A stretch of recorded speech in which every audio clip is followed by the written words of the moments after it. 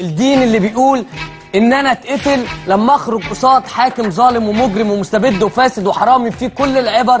طب وأنا أؤمن بهذا الدين ليه؟ أنت تعلم إن في أحد المبشرين في أحد القنوات فتح الموضوع ده أكتر من 20 مرة ولا واحد منكم تفضل فاهمين إن الأزهر مقصر إنه ما بيردش على زكريا؟ معقولة ده كلام يا شيخ جمال كل المبادئ بتاعت الديمقراطية كفر بالله. وبعدين ما تابش يقتل. برضه. علشان كده في كثير من الناس بترتد عن دين الإسلام في السنوات الأخيرة. زكريا بطرس عامل لك عقد نفسية قوي لا ده, ده أنا بقول لك لو شفته عقاب بالايد أتحدى لو استطاع أن يرد على ما يقال عن الإسلام. لا استاذنا يقدر يرد ولا غيره.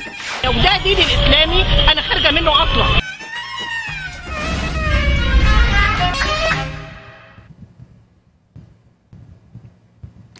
مرحبا بكم أيها الأحبة المشاهدين في حلقة 308 من برنامج معرفة الحق على الهواء مباشرة من قناة الفادي الفضائية ومعنا أبونا القمص زكريا بطرس. سلام المسيح معك أبونا. ومعك يا صباح شرفتينا.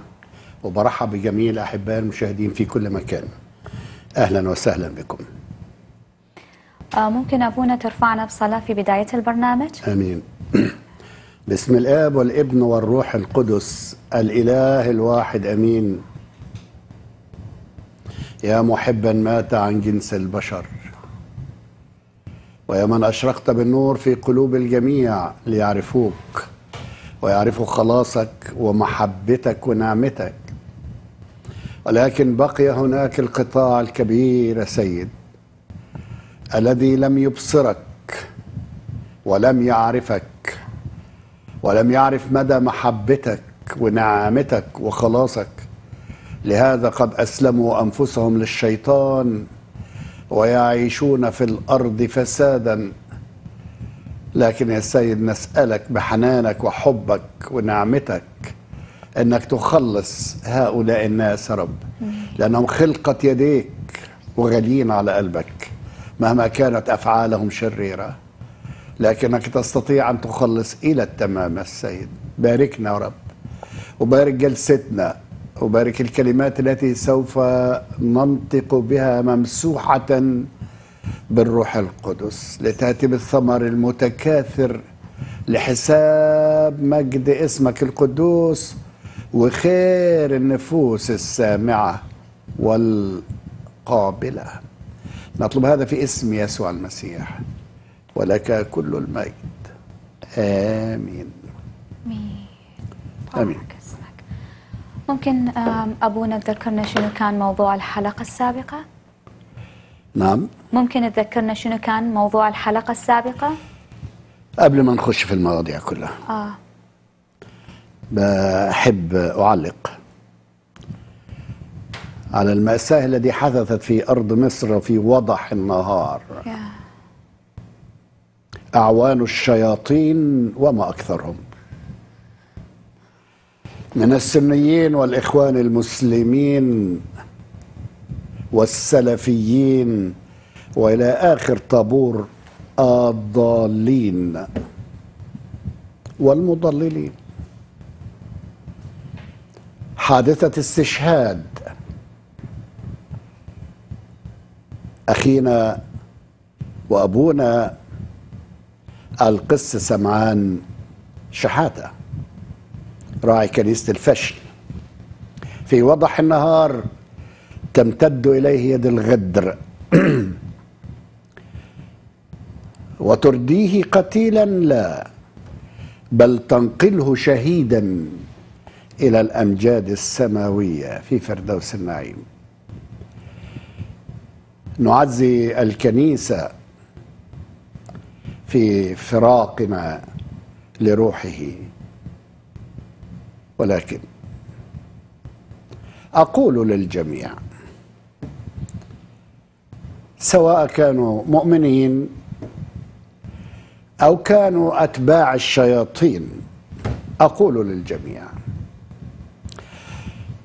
أن الكنيسة بما فيها من كهنة قادة وخدام وحتى مؤمنين عاديين. أقول لهم تشبيه بسيط قوي عشان يبقوا عارفين. زي ما في جيش مكون من ألوية هم أبناء الشعب. جيش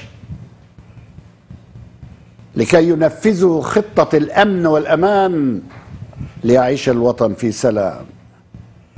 وهؤلاء الذين في الجيش قد تجندوا وهم حاملين شعارا. مشروع شهيد. الكل مستعد للشهادة وكم نسمع من شهداء في الجيش هنا وهناك وأيضا في الشرطة. مشروع شهيد. منذ أن لبس هذا الزي بتاع الأمن سواء كان في البوليس أو في الجيش. أول ما بيلبس ده بيلبس شعار مشروع شهيد.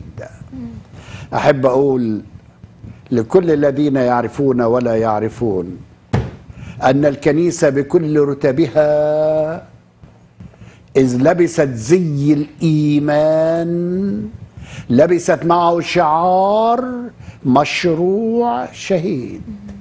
يشهد على ذلك الأعداد الغفيرة على مر الزمن من الشهداء في عهد اليهود في عهد الرومانيين في عهد العرب الأجلاف في كل العهود والعصور.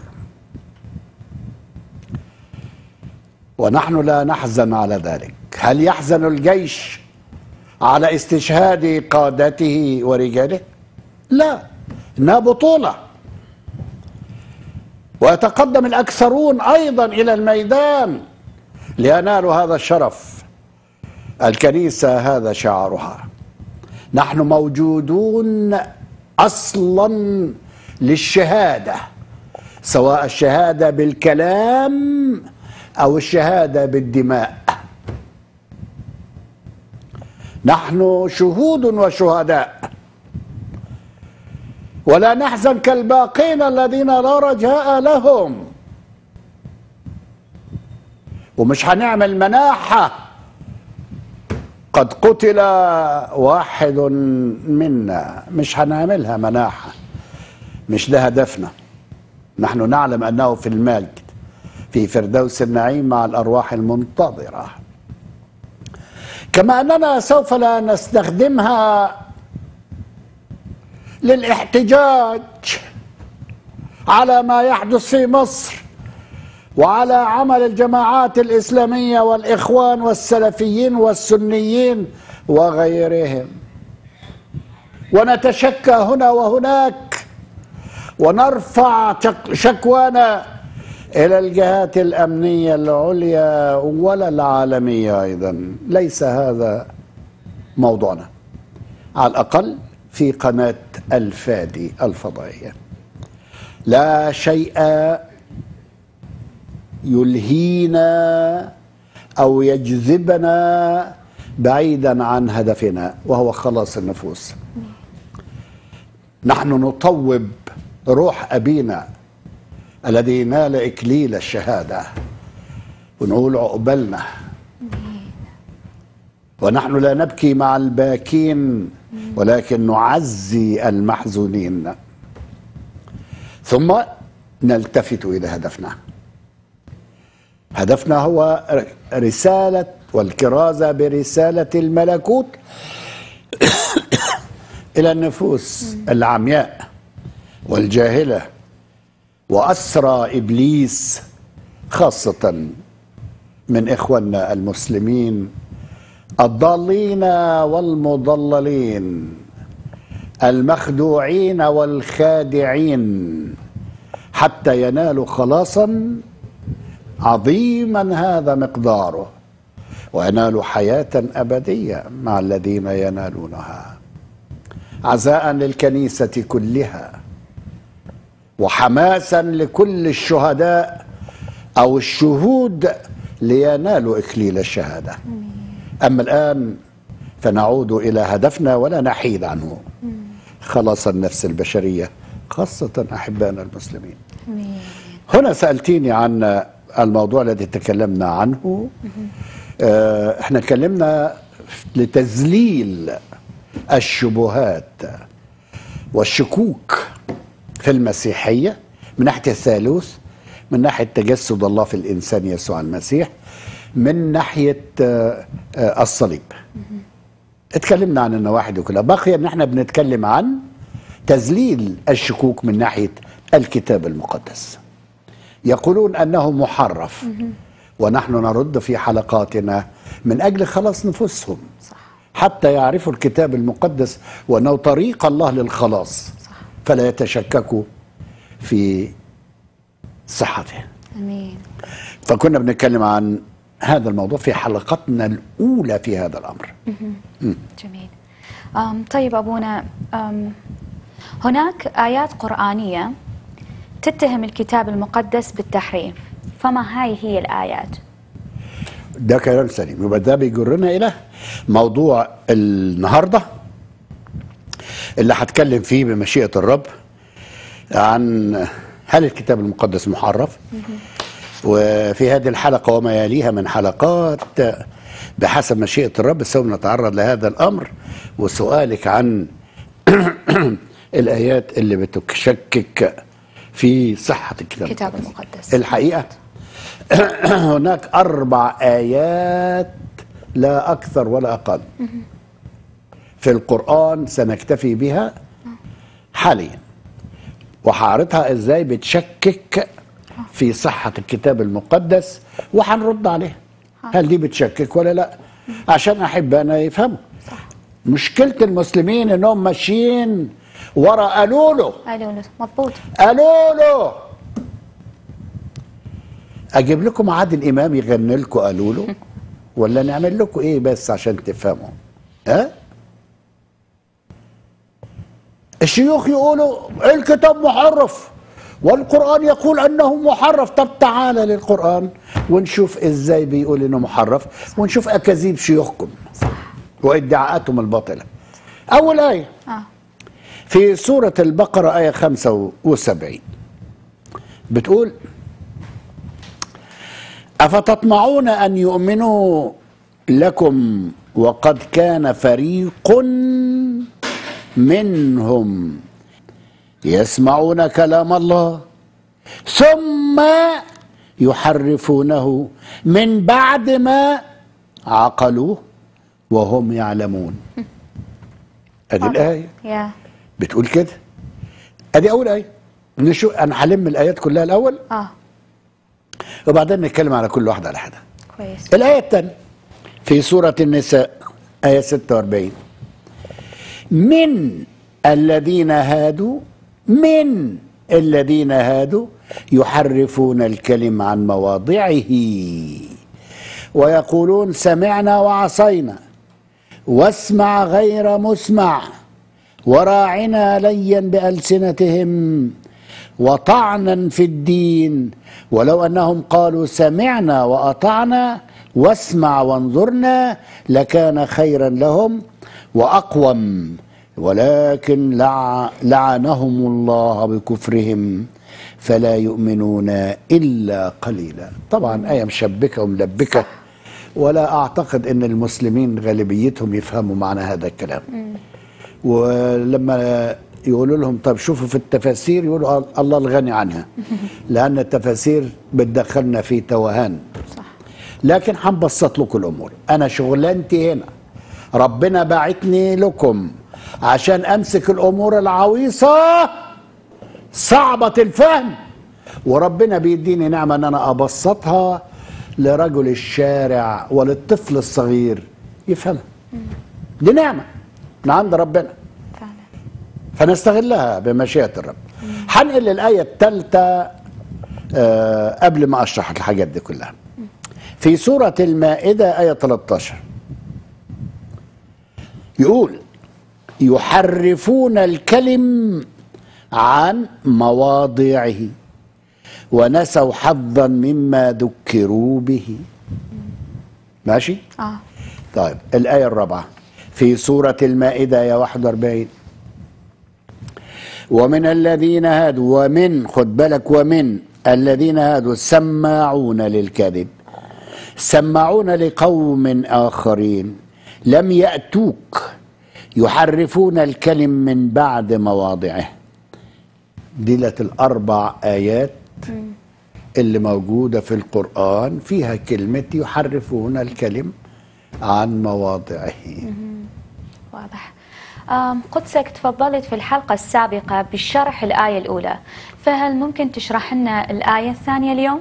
آه إحنا شرحنا عشان ما كانش في وقت عندنا آه. نشرح كل الآيات فاكتفينا بشرح الآية الأولى. واللي عايز يعرفها يرجع للحلقة بتاعت اللي فات جميل. ماشي. خلينا في الآية الثانية بتاعت النهارده وهي سورة النساء آية 46 بتقول إيه؟ من الذين هادوا يحرفون الكلم عن مواضعه ويقولون سمعنا وعصينا واسمع غير مسمع. وراعنا ليا بألسنتهم وطعنا في الدين. ولو أنهم قالوا سمعنا وأطعنا واسمع وانظرنا لكان خيرا لهم وأقوم ولكن لعنهم الله بكفرهم فلا يؤمنون إلا قليلا. بصرف النظر عن نبي بيلعن. وبعدين إزاي القرآن اللي هو كلام ربنا؟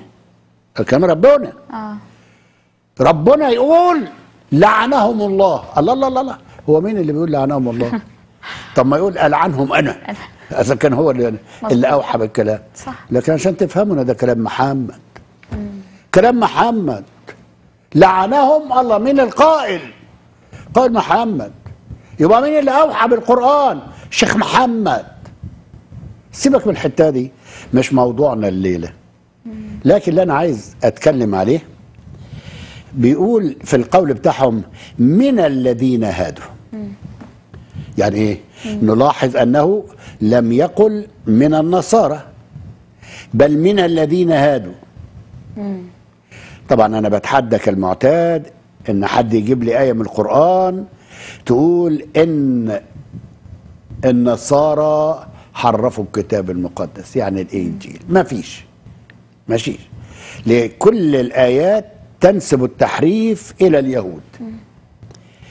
و- وبعدين يقول لك إيه في الكلام اللي بيتقال هنا. من الذين هادوا من الذين هادوا. يعني بعض من الذين هادوا. ما قالش كل الذين هادوا. ما قالش اليهود يحرفون لا. من الذين هادوا. يعني في البعض التاني ما حرفش. صح. فاهمين الحته دي ولا لا؟ أظن مش هجيب شاكوش أعلم بقى بيه. بصراحة يعني. إحنا بس بنشير كده للذين يريدون أن يفهموا. لكن اللي عقولهم مجبسة ده موضوع تاني مش موضوعنا إحنا اذا يتكلمون عن التحريف هنا بعض من اليهود. بيحرفوا بيحرفوا إيه؟ التنزيل؟ لا طبعا. بيحرفوا التأويل. وهو التحريف في التفسير وليس في التنزيل. وهذا واضح في الآية والآيتين السابقتين اللي إحنا اتكلمنا عنها نمسك بقى سورة النساء 46 آه. سورة النساء 46 من الذين هادوا يحرفون الكلم عن مواضعه. في سورة المائدة 41 لسه. آه. من الذين هادوا. وسورة النساء التحريف ينسب إلى جماعة من اليهود. اسم فريق منهم. وليس جميعهم. فإذا غالبية اليهود يؤمنون بالكتاب المقدس ولكن بعض منهم يحرفون الفهم والتأويل والتفسير وليس التنزيل. ماشي؟ واضح. طيب أم ما هو تفسير الفقهاء المسلمين للتعبير يحرفون الكلم عن مواضعه. يحرفون الكلم عن مواضعه. شنو التفسير؟ نشوف بعض المفسرين. من الأئمة الكبار الإمام البيضاوي. يا. قال في تفسيره عن مواضعه وهو تفسير البيضاوي جزء 2 وصفحة 196 دار النشر دار الفكر ببيروت. بيقول إيه؟ من الذين هادوا قوم يحرفون الكلم أي يميلونه عن مواضعه التي وضعه الله فيها وضعها الله فيها. ويؤولونه على ما يشتهون يؤولونه. يعني يفسرونه على ما يشتهون فيميلونه عما أنزل الله فيه. ده من البيضاوي. بيضاوي. يؤولونه يفسروه. وفي كتاب تفسير القرآن للأستاذ عبد الله يوسف جزء 2 وصفحة 1200 وده ترجمة تفسير القرآن إلى اللغة الإنجليزية. وفي مطبوع في أمريكا. يقول إيه؟ وقد سمى القرآن الكريم هذا ليا بألسنتهم. ومعناها يغيرون نطق الألفاظ. يلوي لسانه يعني. آه. بحسب لغتهم العبرية. بيفسر أي أن الكتاب المقدس يقول الآية واليهود يصيغوها ليا بألسنتهم. فيغيرون لفظ راعنا بدلا من معناه الحقيقي. إرعانا يا رب. إلى رعننا. أي يا راعا وهذه شتيمة. يبقى إذن التركيز على أن الناس بياخدوا الكلمات ويغيروها بلسانهم. اللفظ فتدي معنى تاني. صح. أدي مفسرين مسلمين. مش تن... مش تغيير في التنزيل. مش في الوحي. لكن في التفسير والتأويل. نأتي إلى مفسر آخر وإمام كبير هو الإمام الرازي بيقول في ضحى الإسلام صفحة 246 بتاع الأستاذ أحمد أمين واقتبس أقوال الرازي. بيقول إيه بقى؟ الكتاب المنقول بالتواتر بالتواتر يعني بالتكرار. آه. أي من جيل إلى جيل بالتسليم. شوف الكلام اللي جاي. آه. لا يتأتى فيه تغيير الألفاظ. وهذا ينفي فكرة التحريف أي الألفاظ لم تتغير. اللفظ زي ما هو بس المعنى بيتغير. ونلاحظ أنه لا يوجد تحريف في نص القرآن إطلاقا. فهذا غير ممكن. آه، قصدي نص الكتاب المقدس. آه. اطلاقا. لا يمكن إنه يتحرف. كلام الله ما بيتحرفش. واضح. طيب آه ماذا قال الفقهاء في تفسير الآية الثالثة؟ الآية الثالثة. آه. اللي هي بتقول إيه بقى؟ اللي هي من سورة المائدة آية 13 تقول يحرفون الكلم عن مواضعه ونسوا حظا مما ذكروا به. تفسيرها إيه؟ إحنا ما بنشرحش. ما بنفسرش بس بنجيب المفسرين قالوا إيه؟ يشرح الإمام الرازي هذا الكلام في كتاب التفسير الكبير أو مفاتيح الغيب جزء عشرة آية صفحة 95 والمؤلف فخر الدين الرازي نشر دار الكتب العلمية بيروت في الطبعة الأولى. يقول إيه بقى؟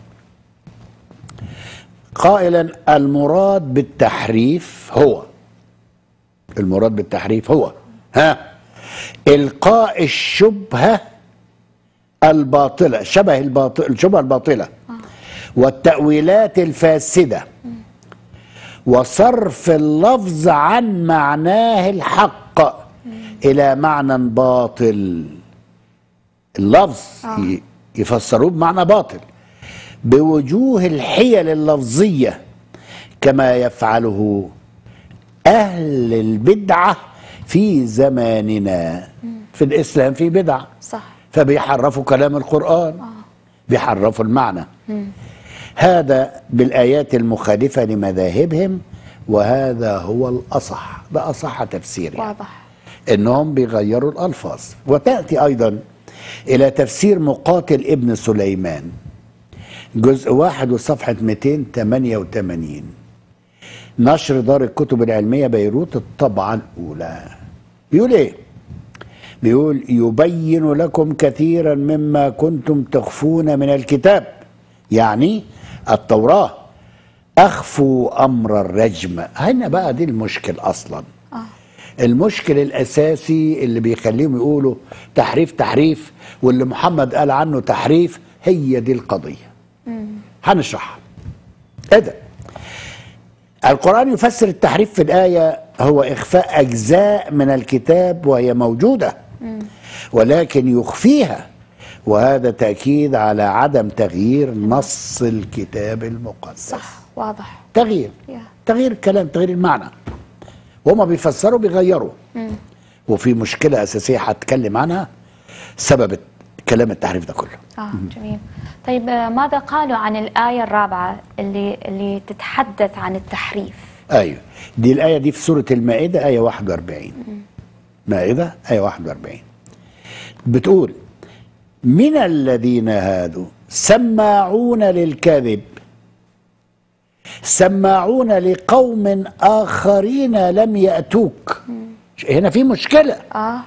طبعا القارئ العادي مش بيفهمهاش. صح. هو بيمر عليها مر الكرام لكن لا آه. أربط وافهم وتعقل. هنوريك الموضوع إيه. فدولة الناس اللي نقلوا كلام عن كلام ما وما كانوش موجودين وياك ناس ما كانوش موجودين آه. يحرفون الكلام. فإن لم تأتوه فاحذروه. فما معنى هذا الكلام؟ إيه المعنى؟ إيه معناه؟ شوف القصة بقى. إيه. جاء في تفسير السمرقندي المسمى بحر العلوم جزء واحد وصفحة 413 هم القصة.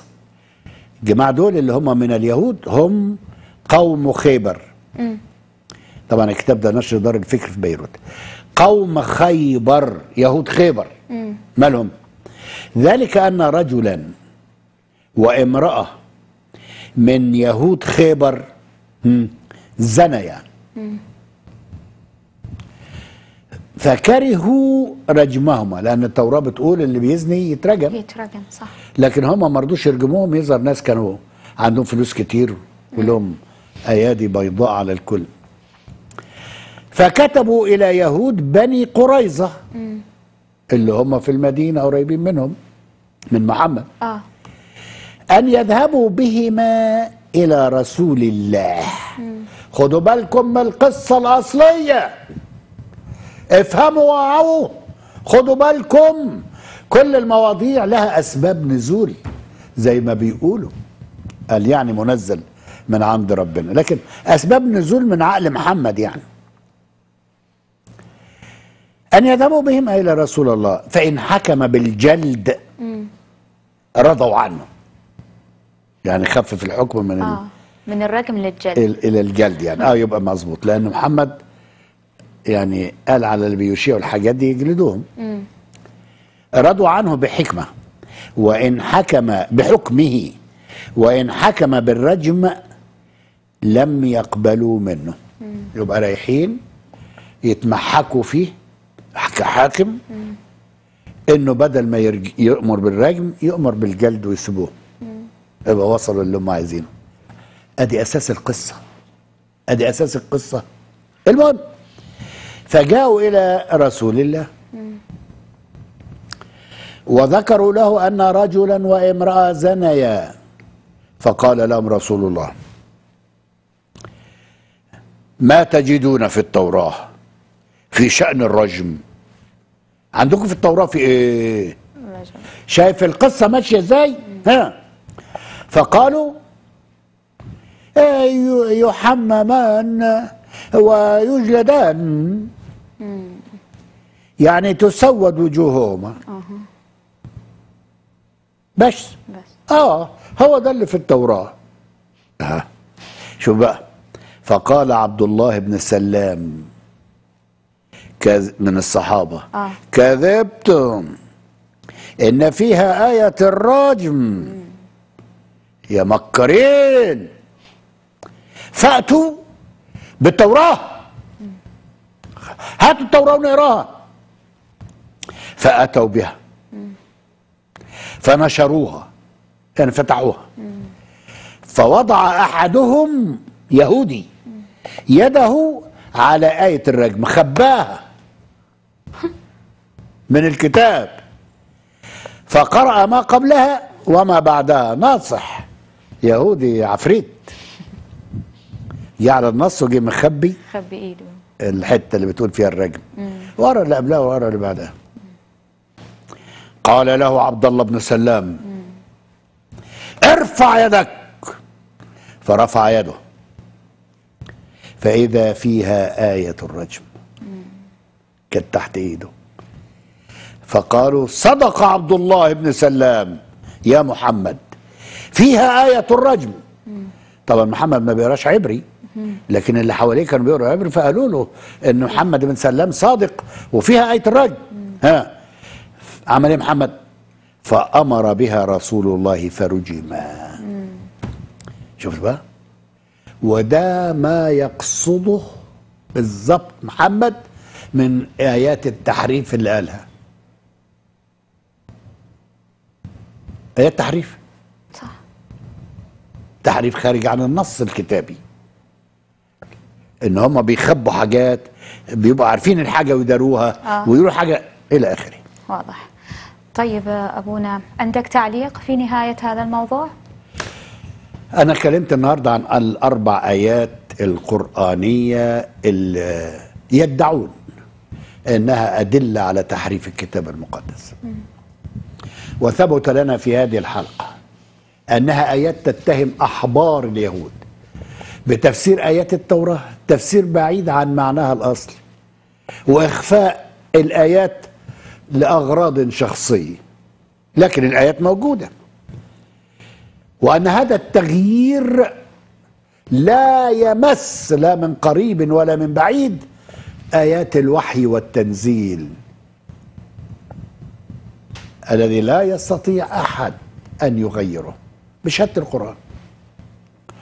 بشهادة القرآن؟ آه. وأنا هجيب بعض الآيات اللي بتبرهن على كده.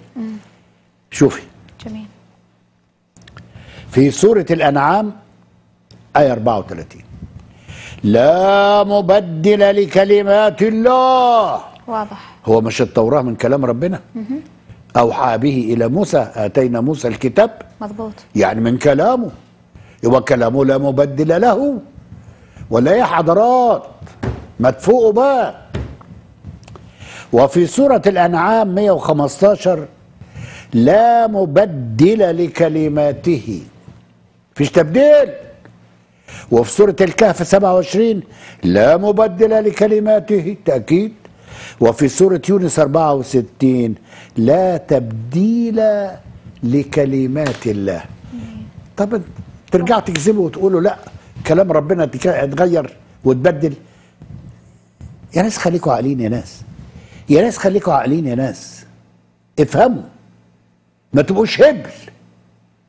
اللي بيقول لا مبدل لكلماته أم يبدل كلامه ولا يحفظه من الك... من التبديل. أليست هذه أدلة دامغة على صحة الكتاب المقدس؟ أكيد ولسه ولسه أدلة أكتر وأكتر وأكتر سنتكلم عنها فيما بعد لأن الوقت دهمنا وإن شاء الله للموضوع بقية في الحلقات القادمة. فقط أريد من كل باحث عن الحق أن يفكر في هذه الأمور التي قلناها.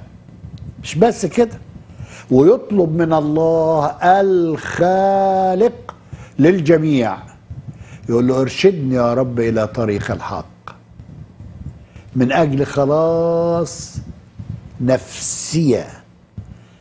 إحنا مش بنعمل حاجة إحنا عايزين خلاص نفسك.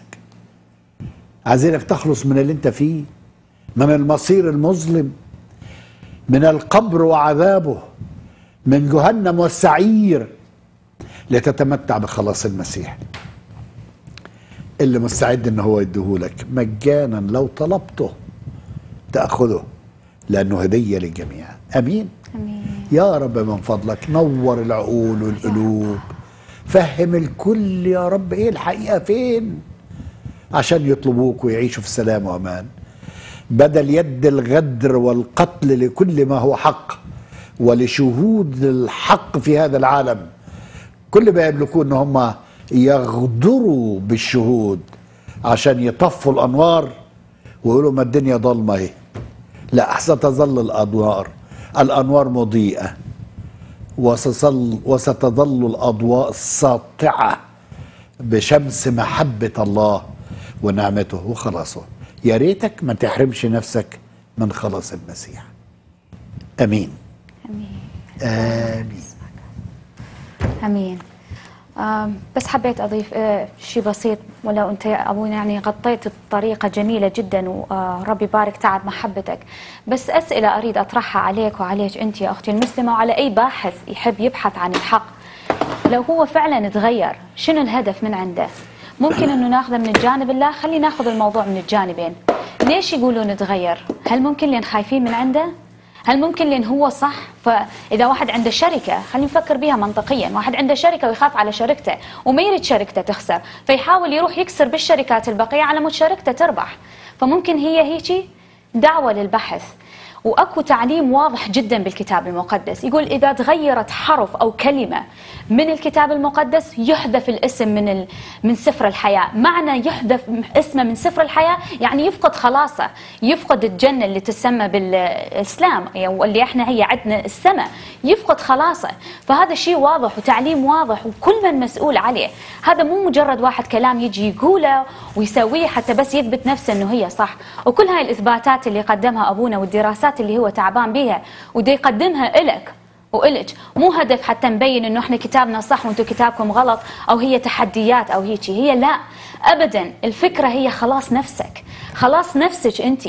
لأن راح يجي يوم يا أخي ويا أختي راح توقف أمام عرش الله وراح تكون أنت وانتي مسؤولة عن دمك. ولما حتقول لله إنه اني ما أعرف بهذا الموضوع راح يقول لك الله استخدمت فلان شخص فلان شخص. أبونا القناة الفادي القنوات الأخرى ده تصرخ وتقول فتحوا عينكم. فاللي أريد أقوله دمك ودمك على مسؤوليتك أنت. لأن أنت اللي تسمع وأنت اللي مدى تقبل تفكر. أبونا آه، ممكن ناخذ بعض الاتصالات؟ هذا ما؟ يسعدني. بس نفتكر النهارده الجمعة. آه. يعني الأولوية للعابرين والعابرات. يكلمونا عن هذه النعمة المعلنة لهم وإزاي نالوا هذه النعمة. أو لو قالوا قبل كده اختباراتهم يبتدوا ياخدوا الميكروفون ويوجهوا رسالة من واقع اللي اختبروه إلى النفوس عشان يدعوهم إلى نعمة ربنا. ده الأولوية الأولى. الثانية للي عايزين يعبروا بس عندهم شوية تساؤلات. بجد عايزين يعرفوا. وإحنا بنفهم بقى اللي بجد من اللي بهلس يعني. دي الفئة الثالثة بقى. اللي عايزين يعترضوا. بنرحب بيهم. بس بشرطين. على كلام الحلقة المداخلات بتاعتهم. وأيضا في حدود الأدب والأخلاق. صح. ماشي؟ أمين. ويانا يوسف أنت على الهواء مباشرة. تفضل يوسف. بعد تقبيل الايادي هنا شلون الصحة؟ يا مرحبتين يا أخي يوسف. أهلا بيك. اخو الصباح شلون الصحة؟ أهلا بك أخي يوسف. ابونا اني اشد اليوم عن الموضوع لأن البارحة دا أقرأ صحيح البخاري شفت حديث عجيب غريب. راح أقرأ الحديث لك وأطلب من المسلمين أن يجاوبوني عليه. حديث في الرقاق حديث رقم 6474 نفس الحديث تم إعادته في كتاب الحدود حديث رقم 6807 يعني تم إعادة الحديث مرتين. أعيد الرقم حتى لا واحد يطلع يقول لي لا ماكو شيء. حديث رقم 6474 حديث رقم 6807 حدثني محمد بن أبي بكر. حدثني عمر بن علي. حدثني خليفة. حدثني عمر بن علي. حدثنا أبو حازم عن سهل ابن سعد الساعدي. قال النبي من توكل لي من توكل لي ما بين رجليه وما بين لحييه توكلت له بالجنة. يا مسلمين طلعوا جابوني وأكون شاكر جدا أبونا. أشكرك يا أخي يوسف رغم أنه خارج عن الحلقة وإحنا بنشترط أنه يبقى جوه الحلقة. فنناقش هذا الموضوع في يا- أيام الأربعاء. لأن بنبقى فيه مفتوح شوية عن النهاردة شكرا جزيلا أخي يوسف. آه. ماشي.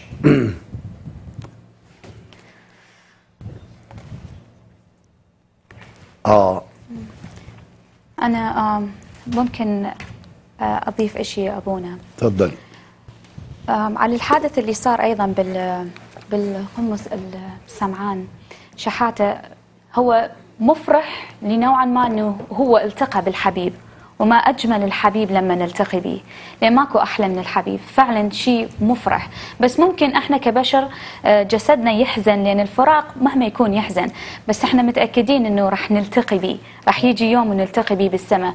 مو على أساس برنا ولا على أساس أنه إحنا زينين أو أشخاص زينين لكن على حساب نعمة المسيح. وعلى حساب بر المسيح اللي أعطانا إياه من خلال صليبة ودمه. وشيء الاخ اللي شيء المحزن والمخوف اللي اللي هو يقول عنه الكتاب المقدس اللي الأشياء اللي ممكن أن يقدر أن يقتل الروح والجسد معا. هذا ممكن أن نحزن عليه لما يموت روحيا ولما يموت جسديا. هذا الشيء فعلا محزن وهذا الشيء يأثر بينا إحنا شخصيا لما نعرف إنه واحد مات وهو مدى يعرف شنو حياته وشنو هو مصيره. ماكو واحد ضامن حياته والشر دا يزيد وكل ما دا يصير الأمور كل ما تصير الحياة كل ما دا يزيد الشر أكثر. وهذا الشيء اللي اللي المسيح وصاني إياه آخر شيء لما شفته. لما قال لي اذهبي وأخبري لأنه لقد حان الوقت لقد حان الوقت. قبل قبل إيش قد؟ قبل سنين قبل قرون دا يقول المسيح إنه لقد حان الوقت. يا ترى كيف إذا إحنا هسه بهذا القرن قرن الواحد وعشرين يعني إيش قد مجيء المسيح قريب؟ إيش قد المسيح هو فعلا على الأبواب؟ بس الشيء المخوف والمحزن اللي أنا كنت أشارك به لو اجى هسه لو صارت اللي تسمى بالإسلام يوم القيامة لو صارت يوم القيامة هسه شنو مصيرك أنت يا أخوي المسلم؟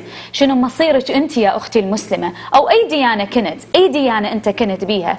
ممكن أكو أشخاص يقولون إيه كل دين يصرخ ويقول أني الصح وأني الصح بس هي هاي مو الحقيقة. أرجع وأقول أني ما تركت دين إسلامي؟ على مود أروح أس... أروح على دين مسيحي حتى أروح من دين لدين ابدا. أنا تركت دين تركت تدين تركت حياة عايشتها روتيني. يوميا لازم أصوم وأصلي و و و إلى آخره. فقط حتى أرضي قلب الله ال- الجبار المهيمن اللي كان يخوفوني من عنده. بعدين جيت عشت حياة.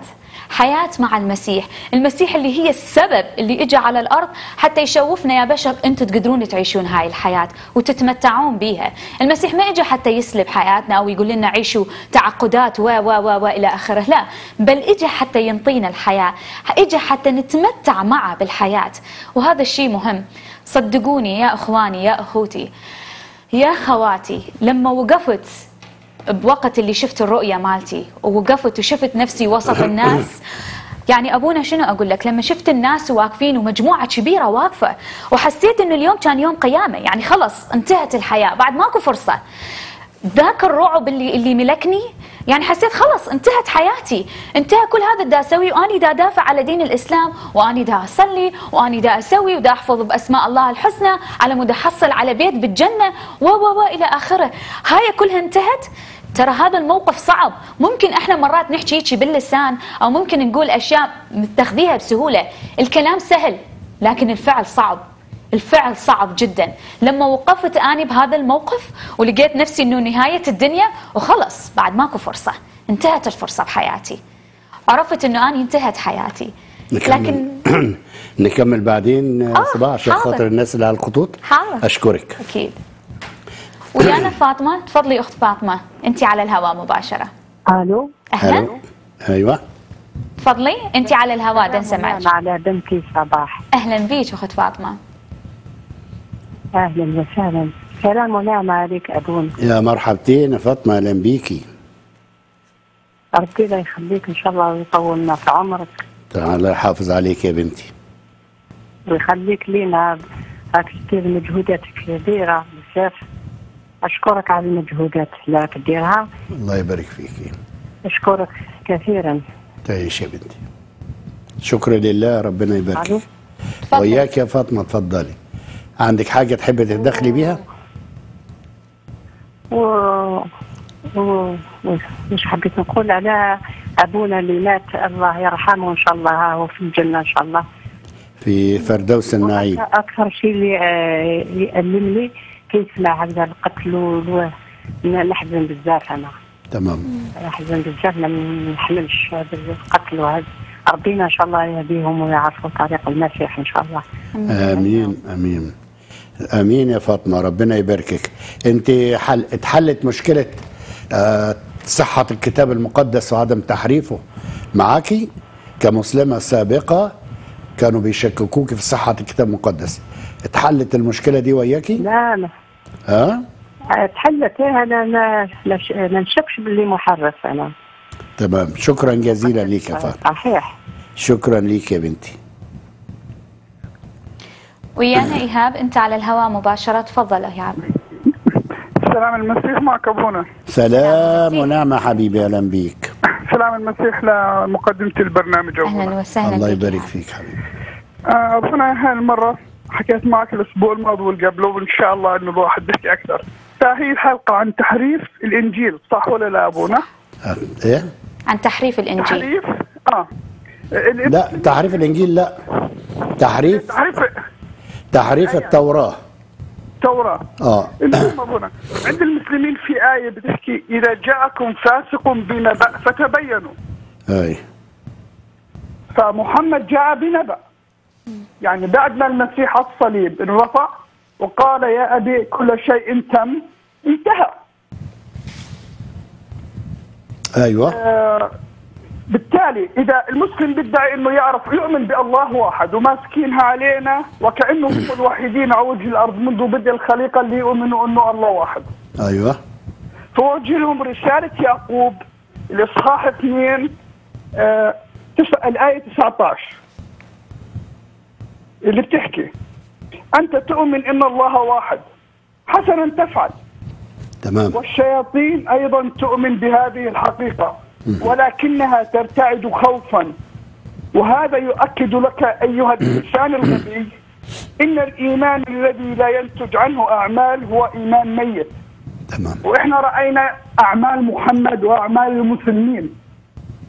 حتى الشيطان في القرآن عندهم. سمح له الله يحكي إنه أنا مش مسؤول عن خطاياكم يا مسلمين لأني أخاف الله. بما إنه الشيطان يخاف الله ما بيقدر حتى الشيطان يتدخل ليحرف كلام الله بغض النظر بالإنجيل أو بالتوراة. أي. ولكنه الشيطان بيقدر يحرف كلامه هو ويدعي إنه الله. طبعا أنت أبوي بينت لهم على مدى سنين إنه الذي جاءكم بالنبأ هو فاسق في أخلاقه وبأعماله وفي كل شيء. المشكلة عند المسلمين العناد مثل ما الله في الكتاب المقدس العهد القديم كان يقول للشعب اليهودي إنهم شعب عنيد. ليش؟ لأنهم ما بيتبعوا وصاياه ودائما بيبعدوا عن وصاياه فبركات الله بتصير لعنات. اللعنات بتأصل الخطية بقلب الإنسان وثمارها علقم سام فالسم بالأفكار. تحريف ما تحريف مجرد حج الضلال لأنه إحنا بنحكي روح الحق وروح الضلال. في الإسلام بيرو- بيقولوا الحق والباطل لأنه ما بيقدروا يقولوا الحق والضلال لأنه ال- في القرآن الضلال من أسماء الله. أي. يعني المضل يعني. المسلم ما خرج من عناده راح يضل تحت اللعنة. تمام. وإحنا بنعرف أبونا إنه هارون لما كان يقدم الذبيحة تكفير. اي التكفير اللي وجدته إنها كلمة عبرانية وليست عربية. كفر تعني غطى. لما كانت تسفك الدماء دماء الذبيحة تغطي خطايا الشعب بالعهد القديم. وكان يأخذ تيسين وكبش ويرسل ويرسل قرعة القرعة هي نعرف على الصليب وعلى ثياب اقترعوا قرعة للرب اللي هي محرقة ذبيحة. تمام يا أخي ايهاب رؤيتك واضحة بس الموضوع طويل قوي. راح تدخلنا فيه وإحنا موضوع الحلقة عن عدم تحريف الكتاب المقدس مش الفداء. بشكرك يا أخي ايهاب لمداخلتك. معنا شاهد أنت على الهواء مباشرة تفضل. ألو؟ أهلا. أيوه. سلام ونعم جناب الكم زكريا معك رمضان. يا مرحبتين عزيزي الفاضل رمضان أهلا بيك. أنا أنا سعيد جدا جدا إن أنا سمعت صوتك مرة ثانية إن إدارة القناه مش راضيه تدخلني مش عارف ليه. ما تتهم ما تتهموناش يا رمضان. فيش داعي للاتهامات يا رمضان. فيش داعي للاتهامات. مرحب بالاخت القديسه صلاح. ربنا يباركك ها جناب القم زكريا حضرتك أنا طلبت أنت سامع صوتي؟ سامعك كويس آه آه، حضرتك أنا طلبت منك مناظرة في دلائل تحريف الكتاب المقدس فأنت حضرتك وعدت لي إن أنت ساعة ما تتكلم في الكتاب المقدس أو في دلائل تحريف الكتاب المقدس هنعمل مناظرة مع بعض. فأرجوك للمرة العشرين للمرة الخمسين مش كده مش برجوك بس لا أنا بتحداك في دلائل تحريف الكتاب المقدس. فهل تقبل المناظره من الجمعه من الجمعة الجاية أنا عايز منك حلقتين بس. دلائل تحريف العهد القديم ودلائل تحريف العهد الجديد. وشهادات ال- اليهود وشهادات الكنيسة وشهادات آباء الكنيسة بتحريف الكتاب المقدس حتى شهادة المسيح نفسه فهل تقبل جناب القمص للمرة العشرين هذه المناظرة أم أنت تتهرب مرة أخرى؟ شطار يا رمضان شطار شطار في فرض رأيكم بالسيف والقوة. تكونش انت عايز تعمل زي حادثة امبارح أبونا سمعان شحاتة. يعني لو تطولني علشان خاطر تديني غرزة برضه النغزة بتاعتكم دي. ها يا ريت يا ريت ننال بركة كبيرة قوي يا ابني. يا رمضان سيبكم من أسلوب التعالي. رد بس على اللي بيتقال. أنت ما انتش قد المناظرات. رد على اللي بيتقال. آه قدامك موضوع اتقال. عندك رد فيه رد. خليه تفاهم لكن اتحداك الكبرياء الكبر الإسلام الأعلون اتحداك يا عم سيبكم بقى من الأسلوب ال- الخايب ده بقى. خلاص. ده كان أسلوب القرون الأولى الإسلامية. لا خلاص. لكن أنتوا النهارده لو تقوا على الحوار وتنقلوا من ال- التحدي إلى الحوار يبقى يتفتح لكم باب للفهم. لكن طول ما أنتوا راسخين على التحدي فالتحدي فالأعلون فالكبر فالكبرياء يبقى ما فيش أمل من اللي ماشي بالطريق ده. رمضان أشير عليك إنك أنت تخش في موضوع حوار. حوار يعني تفاهم. تفاهم. أنا أصلا مش موضوع هنا عشان أقنعك. صراحة اطلاقا. لأن أصلا الكتاب المقدس بتاعنا بيورينا إن ما فيش إنسان يقنع إنسان. اطلاقا. اطلاقا. عشان كده أنا متحفظ من هذا. إن أنا أقنع حد. أمال إيه الحكاية؟ لا. في الكتاب المقدس يقول النبي يا رب أقنعتني فاقتنعت. لما ربنا يقنعك هتقتنع. لكن لو ستين ألف واحد زي زكريا بطرس يحاول يقنعك عمره ما هيقنعك. مقفل. لكن لما ربنا يخترق الفكر من فوق هو اللي بيفتح وينير. سيبك من التحديات التسلط والتصلب سيبك من الحاجات دي. افتح مخك للحوار. إحنا طرحنا مواضيع. ليك اعتراض عليها؟ قول. واذا كان عندنا اجابة هنقولها لك. عندناش مانع. لكن عملية الإقناع تأتي من الله شخصيا. إحنا بس بنفتح أبواب. إحنا بندي بس شوية أدلة لكن الإقناع يأتي من الله. لا أنا أقنعك ولا بسلامتك هتقدر تقنعني. السلام عليكم يا رمضان السلام عليكم ورحمة الله وبركاته. السلام عليكم يا حبيبي ويانا أحمد أنت على الهواء مباشرة. تفضل أحمد. مساء مساء الخير لك يا أختي العزيزة مساء ولكل مين بيسمعني وبيشاهد القناة الجريمه أهلا وسهلا. مساء الخير يا أستاذ يا دكتور يا سيادة القمص يا معلم الخاص ومعلم القرن الواحد وعشرين. قدس الأب زكريا بطرس. الله يباركك يا أستاذ أحمد. الله يباركك يا ابني. آه أبونا. أيوه يا حبيبي. أنت حكيت كلمة اللي ما بكنه الله لا يمكن إنسان يكنه تماما. ده الكتاب المقدس صح. أنا بدي أنا بدي أحكي تجربتي الشخصية. أيوه. تجربتي الشخصية في الحياة أنا مسلم سابق ومتشدد ومتعصب وارهابي سابق والكل بيعرف قصتي وبديش أفتح قصتي كمان مرة وعلى استعداد مش مرة ملايين أفتحها. تمام. بس أنا بحافظ دائما على وقت القناة تميل لأنه أبونا صدقني قاعدين نستناها باللحظة وبالساعة وبالثانية. أشكرك يا حبيبي مش أشكرك. عشان نسمع القناة عشان نتعلم كلام الله.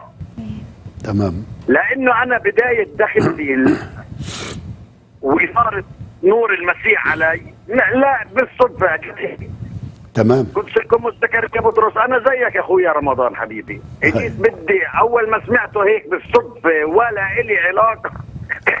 أنا متأسف كثير يا شباب. لا تفضل حبيبي. ربنا وياك يا حبيبي. أنا ولا إلي علاقة لا في مسيحية ولا بعرف عن المسيحية إلا شغلتين. كتاب مقدس محرف وبعده ثلاث. هاي معرفتي عن المسيحية.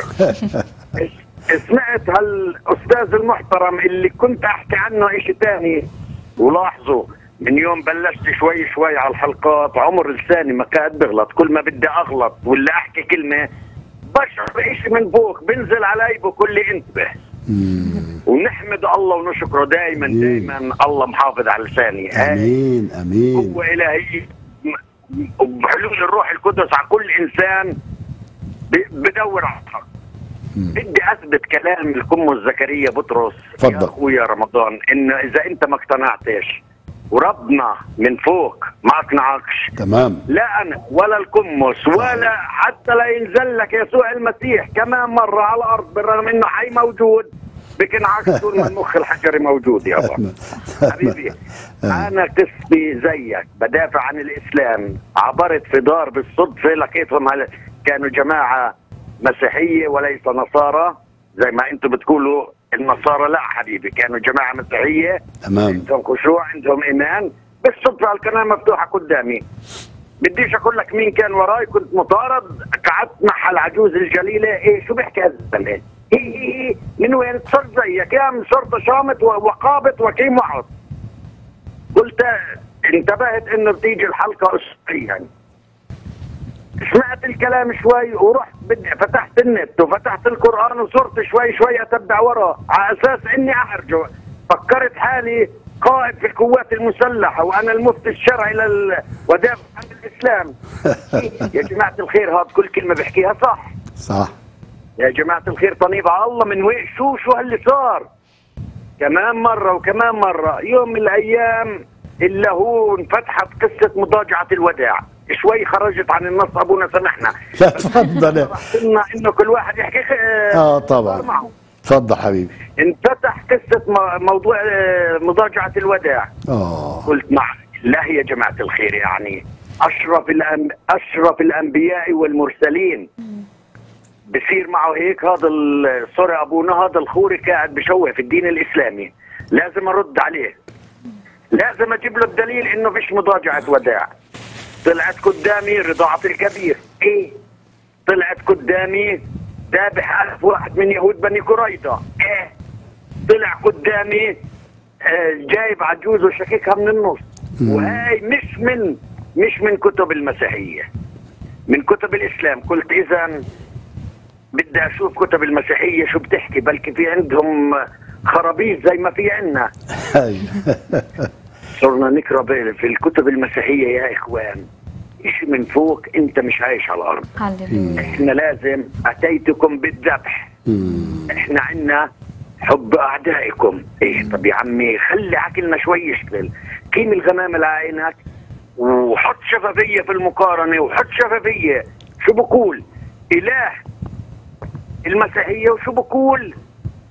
رب الإسلام. طب معقول هذا رب رحوم غفور مكار في الإسلام حنون في المسيحية. وديع في المسيحية جبار في الإسلام. بعدين ندرس طلعت قدامنا عذاب القبر. إيه إيه. طب ما إحنا طول عمرنا يا المسلمين مرعوبين من شيء اسمه عذاب القبر. تمام. مرعوبين من مرعوبين إنه كل واحد لازم يطبق عليه عذاب القبر. بعدين قلت طيب بدي أشوف جنة المسيحية وجنة المسلمين. اكتشفت إن جنة المسلمين كلها نسوان يا عمي وخمرة. أي. جنة المسيحية بدك تروح تقابل وجه ربك كأنك ملاك طاهر راجع. والد من جديد وطالع تقابل وجه ربك تصلي له. تمام. ولا وليس نسوان وعدينا النسوان طلعوا 46 ألف وحدة. أيوه. يا جماعة الخير شو طلعنا على طيب يا سيدي هات بجوز بدنا نطلع على أعمال محمد وأعمال المسيح. طب هذا الزلمة وديع محترم آدمي خلوق بعيد عن النسوان بقول لك إذا نظرت لوحدة بتزني فيها بقلبك اطلعنا على أشرف الأنبياء والمرسلين لكنها ماسك 46 وحدة. هدول اللي الله حلل له إياهم بالحلال غير وما ملكت أيمانكم غير اللي أخذها في الحرب. إيه؟ يا جماعة الخير معقول هذا الإشي؟ ربنا اللي إحنا بنعبده هيك بيسوي معقول هالإشي؟ تعالوا يا جماعة الخير. صرنا نفرز. هاي شو بيسوي؟ ولا شغل. سواها سيدنا محمد أشرف الأنبياء والمرسلين اللي الله شرف على كل ال... ال... الأنبياء وأم بالانبياء وأم بكل الناس ولا شغلة إيجابية سواها. معقول ربنا مش شايف شو بيسوي محمد؟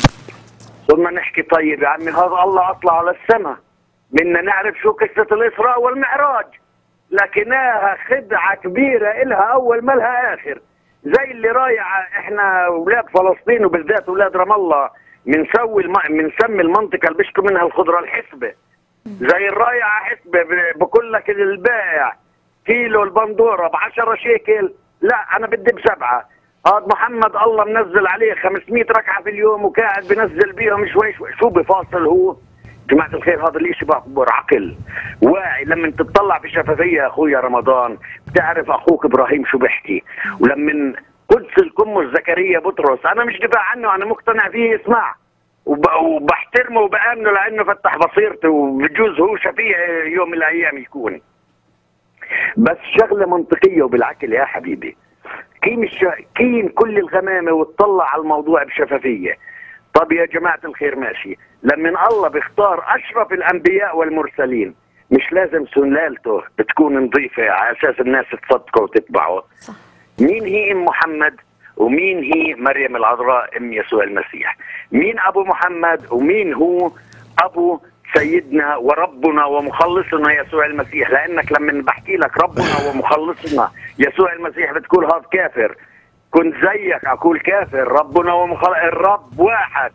استغفر الله العظيم اشتح يا عمي كنت زيك والله بعرف. بس حبيبي انظر لها. انظر لها بشفاف. انت بتعرف شو معنات ربنا ومخلصنا يسوع المسيح. آمين. انت بتعرف إنه المسيحية بالذات إنه هن الموحدين بالله والمسلمين بالذات هن المشركين يشركوا محمد بما فعل الله بالكبيرة والصغيرة. حبيبي الله يرضى عليك. انت عمر حتى الشهادتين تزبط انه انت تقول اشهد ان لا اله الا الله وتوقف ولا وتقول وسيدنا محمد رسول الله. لازم تزبط انه قال محمد قال الله. ولا ومحمد والرسول عليه الصلاة والسلام. تمام. بصير شبع يا عمي والله العظيم. لسه انت بدنا ندرس لغة عربية إحنا بدنا ندرس أولاد آه، صف أول وثاني. حبيبي أنا بجوز اعتلط على إخواني واعتلط على سيادة القمص الله يبارك فيك الله يبارك فيك. بالفعل أختي حقيقية. ويابا أنا إذا بدي أحكي بديش أحكي كثير أنا أعطيتك رؤوس أقلام. شكرا جزيلا شكرا جزيلا يا أخي أحمد. الرب يباركك. موضوع في الصميم اللي أنت اتكلمت عنه من واقع اختبارك ورؤيتك. ويعني أو عمنا رمضان بيقاوم ولسه في دور المقاومة. لكن لو كان مخلصا لله فسوف يرشده الرب كما أرشدك يا اخ أحمد. آمين. آمين. ربنا يتمجد. إيه؟ إيه؟ منو؟ قلت إيه؟ ألو؟ أيوه. تفضل. تفضل أخ أيوب أنت على الهواء مباشرة تفضل. شكرا سيدتي. أهلا.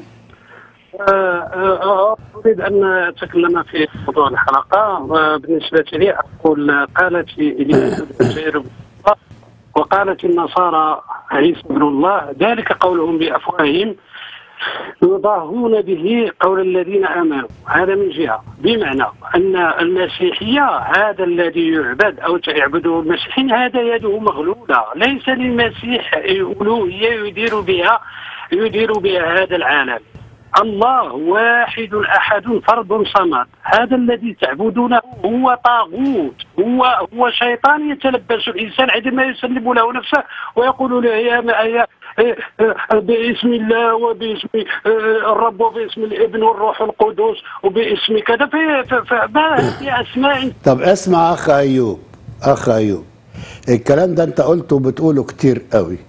ورغم إن أنا نبهت في أول الحلقة وقلت المداخلات للمعترضين على موضوع الحلقة.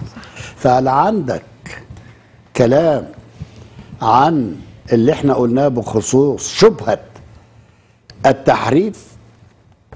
الكتاب المقدس؟ إيه رأيك في الكلام اللي إحنا قلناه؟ إيه رأيك في الأدلة اللي إحنا سقناها؟ هل لديك أي اعتراض عن هذا الموضوع؟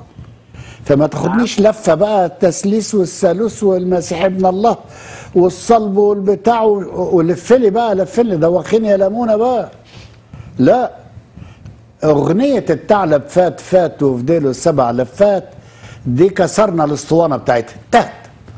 ما عادش نسمع لها.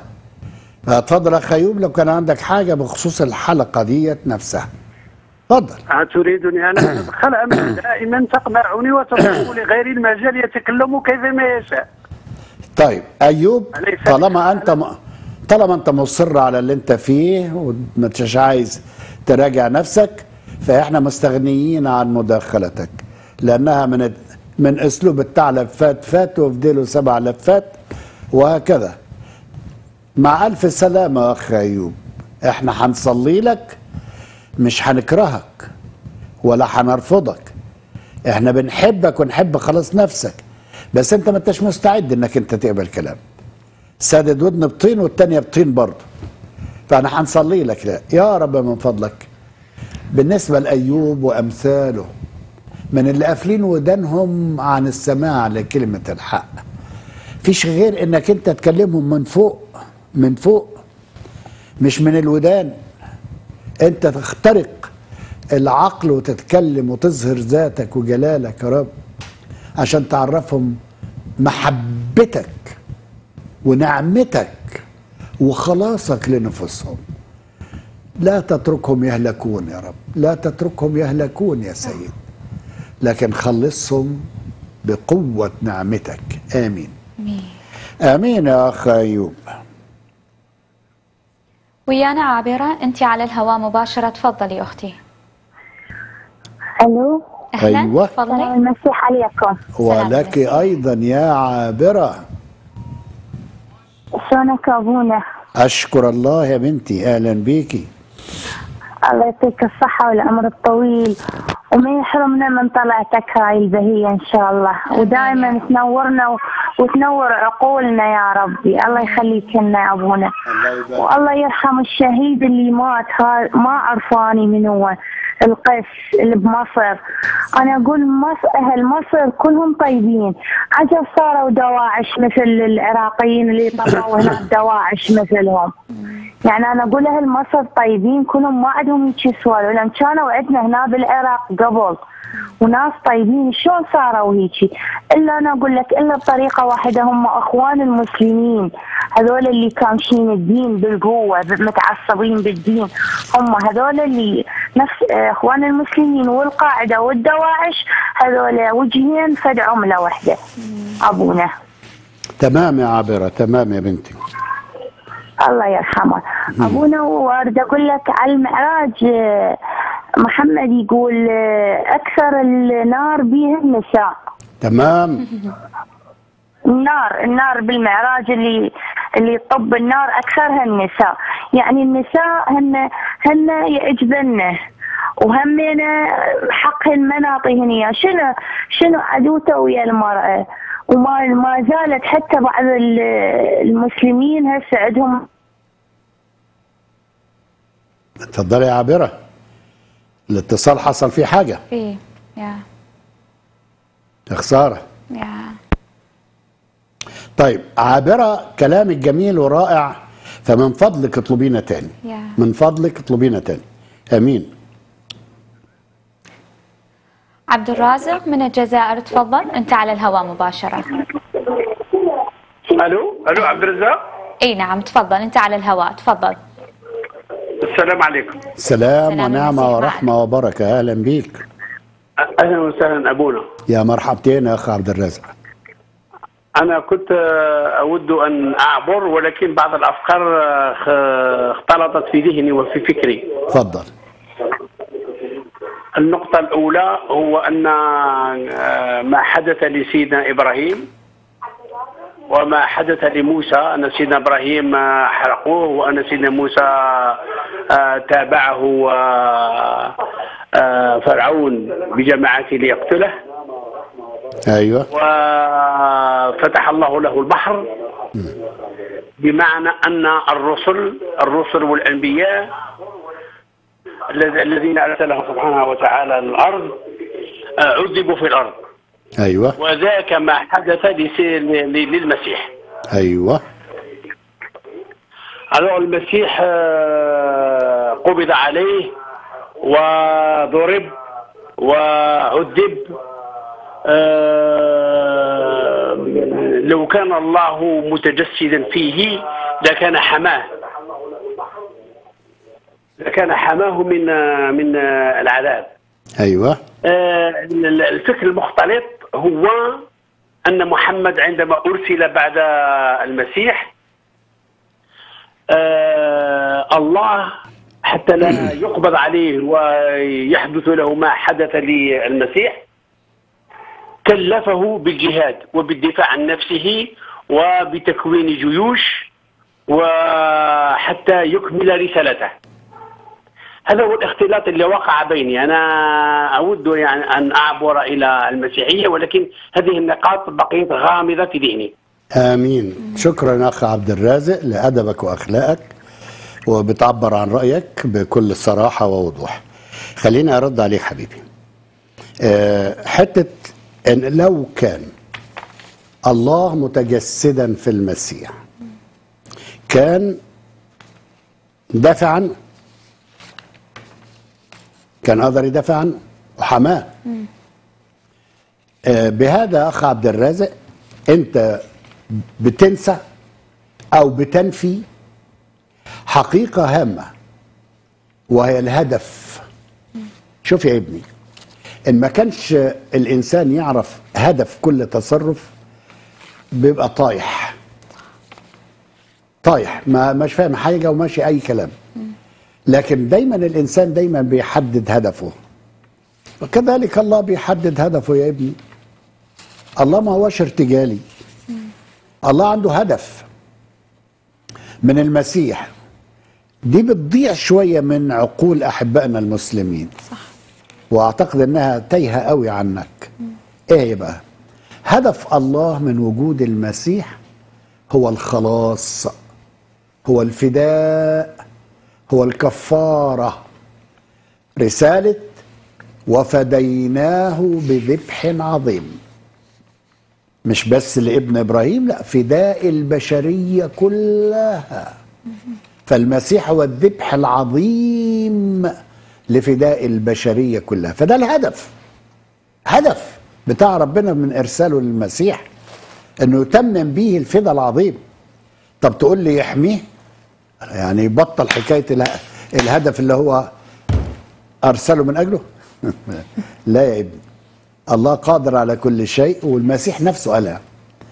لما جه واحد يدافع عنه قال له أنت هتدافع عني أنت؟ يا ابني ده أنا أقدر أطلب من أبي الذي في السماوات اللاهوت يعني.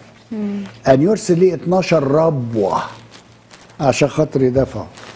بس لا أنا جاي لهدف لأجل السرور الموضوع أمامه. احتمل الخزي مستهينا بالصليب بالعار لأجل خلاص الصليب. دي أول واحدة. فالهدف السماوي المسيح أتى ليحقق الفداء العظيم. أما محمد فأنت بتقول إن عشان خاطر الجه... ربنا آه عشان كده يعني يحميه من اللي حصل للمسيح فكلفه بالجهاد وقلت كلمة تعبير. الجهاد اللي هو الدفاع عن نفسه. الدفاع عن نفسه. وقعنا في الغلط. طب يعني ربنا ما يقدرش يدافع عن محمد؟ فقال له يا محمد آه، أنا خايف اللي يحصل اللي حصل للمسيح يا ابني يحصل لك. وأنا عاجز يا ابني مش قادر أنا ما قدرتش أعمل المسيح يا ابني. فأنت بقى حبيبي آه، شوف نفسك. يعني أعمل لك جيش وهات أسلحة ودافع عن نفسك يا ابني. أنا ما أقدرش يا حبيبي. دافع أنت عن نفسك. يا دي الخيبة. يا. دي الخيبة يا بالويبة. الله قادر على كل شيء. يس قادر أن ينفذ هدفه نعم. وإرادته. عشان تعرف إن محمد أمن نفسه مدفوع من نفسه وبيدافع عن نفسه. شكرا ليك يا أخ عبد الرازق لهذه الأسئلة. ويانا ضياء العابر أنت على الهواء مباشرة تفضل ضياء. سلام المسيح ابونا الغالي. يا مرحبتين حبيبي العابر أهلا بيك. ما أعرفش فاكرني ولا لا؟ آه هو الكتر الناس الحقيقة ببقى محتاج إن أنا أفتكر. اتفضل حيبان دلوقتي. ضياء ضياء العامر الكردي. الكردي أهلا بيك أهلا بيك. رب آه. يباركك يا حبيبي. يا مرحب. أهلا اتفضل. بصراحة يا أبونا أنا ما حضرتش الكلام ولا حضرت ال- ال- اللايف على الفيسبوك بس حبيت أتصل وخرجت من اللايف أتصلوا بيا. بس آه. عندي نقطتين يعني عاوزك أ- أقول لك عليهم و... وربنا يباركك يا رب. اتفضل حبيبي. آه، النقطة الأولى يا أبونا أنه القرآن بيشهد بنفسه أنه هو كتاب ضلالة مثل ما هو كتاب هداية. يعني بيقول يهدي به من يشاء ويضل به من يشاء. النقطة الأولى دي. والنقطة الثانية يا أبونا أنا بس عايز أوضح المتصل بقلبي اتصل ومش مستوعب الفقرة دي فقرة آه، صلب المسيح وتجسد المسيح وظهور كلمة الله بالجسد. أنا بس عايز أوصل له الرسالة دي لو كان هو سامعني من أخي مسلم سابق عاوز أوصل له الرسالة دي بشكل مختصر. عاوز أقول له يا يا أخوي يا عبد الرازق لو كنت أنت متجوز وأبوك لسه عايش وعندك عيل في البيت لما تروح بيت أبوك هتكون إيه؟ هتكون ابن ولا لا؟ لما تيجي بيتك هتكون زوج مع لما تشوفك مراتك ولا لا؟ لما تقابل ابنك هتكون أب ولا لا؟ هم دول الثلاثة اجتمعوا بشخصك ولا ما اجتمعوش بشخصك؟ أنت واحد بس الثلاث ألقاب دي آه، يعني قالوها على شخصك إزاي أنت يا أخوي عبد الرازق تؤمن بقرص الشمس وما بتؤمنش بالإشعاع الناتج من قرص الشمس طب انت دلوقتي لو طلعت الفضاء وقابلت قرص الشمس هتموت. الحرارة عالية قوي بس بنفس الوقت تعمل إنه أشعة الشمس دي من قرص الشمس ده نفسه. بتمنى إنه رسالتي دي توصل لأخويا اللي كان متصل قبلي. ويعرف زي ما هم ما بيقولوا هم يا أبونا. الله أقرب من حبل الوريد. المسيح أقرب من حبل الوريد. آمين. تمام. آمين. شكرا جزيلا يا اخ ضياء واشكر وأشكر خدمتك وربنا يباركك. ربنا يزيدك من كل نعمة. شكرا ليك يا حبيبي. آمين آمين. ويانا جورج أنت على الهواء مباشرة تفضل. سلام الرب يسوع أختي صباح. سلام المسيح نقبل معك. الايادي نقبل الأيادي أبونا. يا مرحبتين. عزائي الروحية للشهيد الذي نال الشهادة آه، القديس آه، سمعان شحاتة لأنه آه، في أحضان الرب. نحن حتى روم قد رصفت اجساد القديسين أبونا.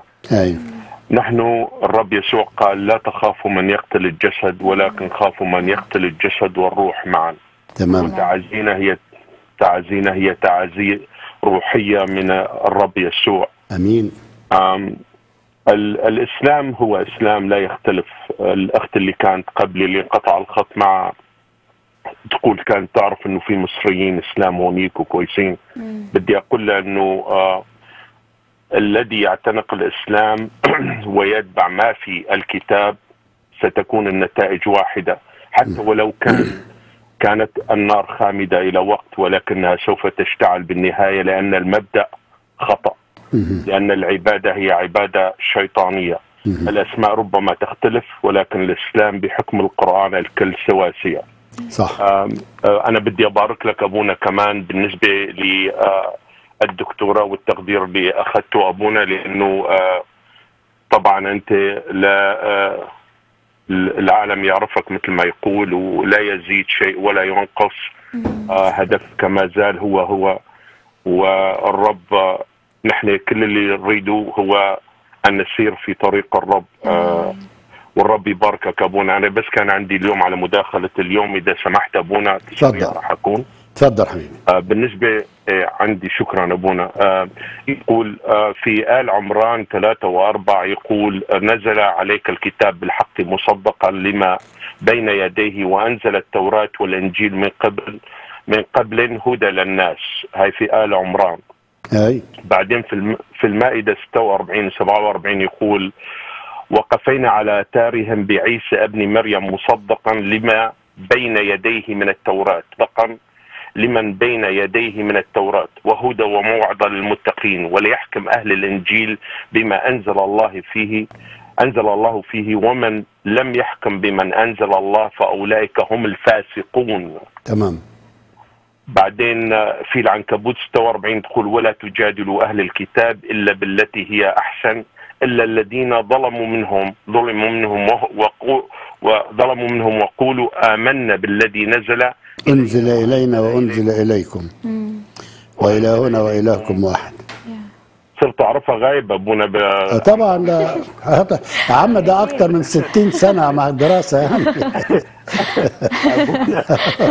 وفي آل آل عمران في وحدة بس أخيرة.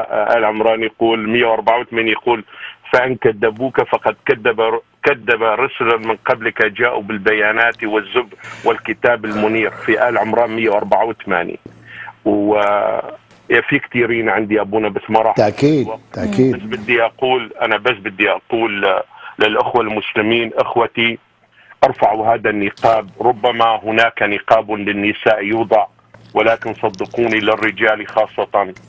النقاب ليس فقط المرأة ترى من خلال العيون العيون مفتوحة ولكن أعتقد النقاب الذي يوضع على الرجال هو على العيون وأما الجسد كله عاري. أرجوكم أن تأخذوا هذا النقاب وتزيلوه من عيونكم لتفتح بصيرتكم وتشهدوا للمسيح لأن المسيح نور والذي لا يأتي إلى النور فسوف يعيش في الظلمة إلى الأبد. وأشكرك أبونا والرب يكون معك. إلى الأبد. شكرا جزيلا حبيبي. أشكرك. ويانا البشير من موريتانيا تفضل. ألو. ألو. بشير من موريتانيا. يا أهلا بيك. أيوه. أو آه، هذا البرنامج ما شفتش في التلفاز و- إلا تدخل بعض الإخوة هو موضوع الحلقة. إيه؟ موضوع الحلقة. أيوه.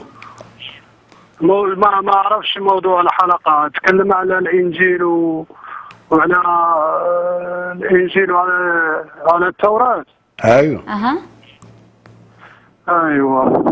آه، بالنسبة للمسلمين آه، التوراة والإنجيل نؤمن بالتوراة ونؤمن بالإنجيل ونؤمن بالأنبياء ونؤمن بالرسل ونؤمن بكل ما سبقنا من البشارات ونؤمن بكل آه، من من آدم عليه السلام إلى من آدم عليه السلام إلى محمد عليه أزكى الصلاة والسلام. هذا كله نؤمن. نحن لا نؤمن إلا بما جاء به الكتاب المقدس بعد تحريفه بمعنى أن كل المبادئ التي ينص عليها فهي صحيحة إلا الاستثناء هو وهو الاختلاف القائم وهو دعوة المسيح عيسى بن مريم بأنه الله وروح الله. هل عندما يتكون الجنين في بطن المرأة هل تكون له روح أمره من الله وتزرع فيه الروح بأمر الله كما زرعت في في بطن مريم؟ بمعنى أن هذا لا يخوله أن يكون روح الله وبهذا يعبد ويكون إلها. هذا هذا تخريب. وأن ما تعبده المسيحية هو طاغوت شيطان راجل طيب شكرا جزيلا يا بشير. هو انت مغير اسمك يعني ومغير بلدك. يعني دخلت على موريتانيا وغيرت نفسك بالبشير. ولكن انت انت هو بتاع الجزائر آه، اللي اتكلمت قبل كده حبيبي عبد الرازق. يا عبد الرازق. تقول موريتانيا. تقول اسبانيا. تقول أي حاجة من الك... لا صوتك وكلامك ولغتك وحياتك نفس الشيء. يا البشير نحن قلنا أن نتكلم بخصوص موضوع الحلقة. فأنت برضو يا شيخ عبد الرازق زي ما دخلت في الأول وابتديت تتكلم عن مواضيع أخرى فبرضو النهارده دلوقتي بتتكلم عن موضوع. يا ابني حبيبي ابن حبيبي انت مش عارف القرآن ما تعرفش قرآنك. ونفخنا فيها من روحنا فتمثل لها بشرا سويا. ونفخنا فيها من روحنا فتمثل لها بشرا سويا. وفي سورة النساء آية 171 إنما المسيح عيسى ابن مريم رسول الله وكلمته ألقاها إلى مريم. وروح منه مش روح زي بتاعت آدم. لا لا أيدناه بروح القدس بالروح القدس روح الله. آه، افتحوا مخكم عشان تفهموا. ده الراجل لسه قايل لكم دلوقتي يا يا عبد الرازق. أخونا جورج. بيقول لك شيل النقاب يا ابني. شيل النقاب اللي على مخكم منقبين مخكم. أي بصيرة بتبصوا بيها من المخ منقبينها بالسواد. نقاب أسود عشان ما تشوفش غير رأي محمد. رد على الكلام اللي إحنا بنقوله. رد على الكلام اللي إحنا بنقوله. شكرا جزيلا يا بشير. ويانا أحمد أنت على الهواء مباشرة. تفضل أحمد. آه، مساء الخير يا حضرة القمص. يا مرحبتين أهلا بيك. عندي أرقام نصوص في العهد القديم هقولها لحضرتك. لا لا لا. لا لا لا لا لا. لا لا. آه أنت عايز تخش عشان خاطر تعترض فاتكلم على موضوع الحلقة اللي هو شبهة تحريف الكتاب المقدس. والكلام اللي إحنا قلناه مش بنهوي وندوي واللي يخش من المسلمين بقى يخش تاني. الثعلب فات فات. يا عم إحنا حرقنا الس- السديده بتاعها. الأسطوانة بتاع الثعلب فات فات. خلاص بقى احرقوه. يا عم احرقوه عندكم يا جماعة. فتحوا مخكم واتكلموا بالمنطق. إحنا بنقول عن كذا ما تقوليش وكذا. يعني تصور أنت داخل امتحان والامتحان بيسألك عن نظرية علمية. نظرية علمية. مما تتكون النواة. بروتون النواة والبروتون والإلكترون. خلية أما أنت تخش تقول إيه؟ والتاريخ يتحدث عن الهجرة النبوية. يا عم بنتكلم على ال- الذرة النووية. الذرة تركيب الذرة. مش بنتكلم على الهجرة. أهو كلام. أي كلام في أي كلام. يا جماعة فتحوا بقى. اتعلموا أولى مبادئ التفاهم والحوار. لما يتفتح موضوع ما تهربش الموضوع تاني. والأسطوانة إياها المشروخة. صدقوني أنا كسرتها ورميتها في الزبالة من زمان. عقبال ما تكسروها وتحرقوها أنتوا كمان. شفتوا الراجل بتاع الأربع اللي فات؟ العالم الفقيه. اللي من السعودية اللي حرق كل الكتب بتاعت التراث وطلع السيديهات بتاعت الثعلب فات فات طلعها وحرقها كمان. شفتوه؟ ولا أجيبه لكم تاني. شكرا يا عم أحمد. لما تبقى تتعلم التفاهم والفهم وأسلوب الحوار يبقى بنرحب بيك. اتفضل. ويانا مجدولين تفضلي أنت على الهواء مباشرة. مجدولين ألو أهلا؟ أيوه. ألو يا مرحبا. ماجدونين إحنا نسمعك تفضلي؟ مرحبا أبونا سلام لك وس- آه، وسلام للأخت. صباح الرب يبارككم. يا أهلا بيك يا مجدولين. يا أبونا هو السارق لا يأتي إلا ليسرق ويذبح ويهلك. يعني هاي هي أثمار آه، النبي نبي الشيطان محمد. طبعا. يعني شو ب- شو بدنا نتأمل منه؟ ولا حاجة. يعني هاي مش أول مش مش أول مرة دائما ما هو متعودين المسيحية إنهم يعني هذول القتلة. هاي اثماره لمحمد. وبعدين بالنسبة لعبد الرزاق عبد الفقير هذا صحيح إنك فقير يعني من وين يجيك الرزق؟ الله يعينك يعني أنا بشفق عليك. يا حبيبي ال- المسيح محمد طيب لما انسم وين إلهه؟ ليش ما أنقذه؟ هو شاطر بس إلهه ينزل له آيات عندما يخرب بيت الزلمة اللي متبنيه يأخذ يأخذ مرته. و... وينزل له آيات بعد أن قضى منها زيد وطرى يا أخي افتحوا على حالكم خجلوا على نفسكم طيب هلا أنت نصيحتي لكم كلكم يلي بتطلعوا فكروا استعملوا عقلكم هلا المسيح كلمة الله اللي اللي عندكم قرآنكم يشهد له اللي آه، المسيح معلش على كل حال انت ما الله ما مش فاهمين ولا شيء الله يعينكم. المسيح مات من أجلنا وافتقر من أجلنا. اللي قال للثعالب اوكارها ولطيور السماء أعشاشها أما لابن الإنسان ليس له أن يسند رأسه. لكنه قام قام من الموت تغلب على الموت وسحق الشيطان اللي أنتم محمد ضموا الكم خلاه خلاه أخو الكم الشياطين اخوتكم أنتم نسيتوا الشياطين اخوتكم ظل ليله كامله مع الشياطين حتى تغلب عليهم وصاروا مسلمين؟ يا بختكم وأنتم نصيحتي لكم فكروا استعملوا عقلكم.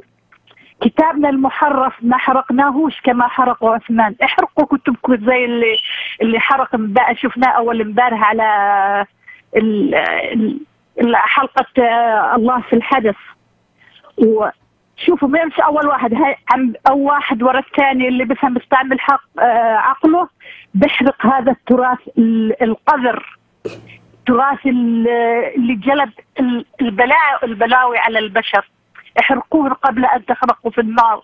قبل أن تقفوا أمام المسيح المسيح هو الذي عندكم كمان هو القاضي هو الحكم المبسط.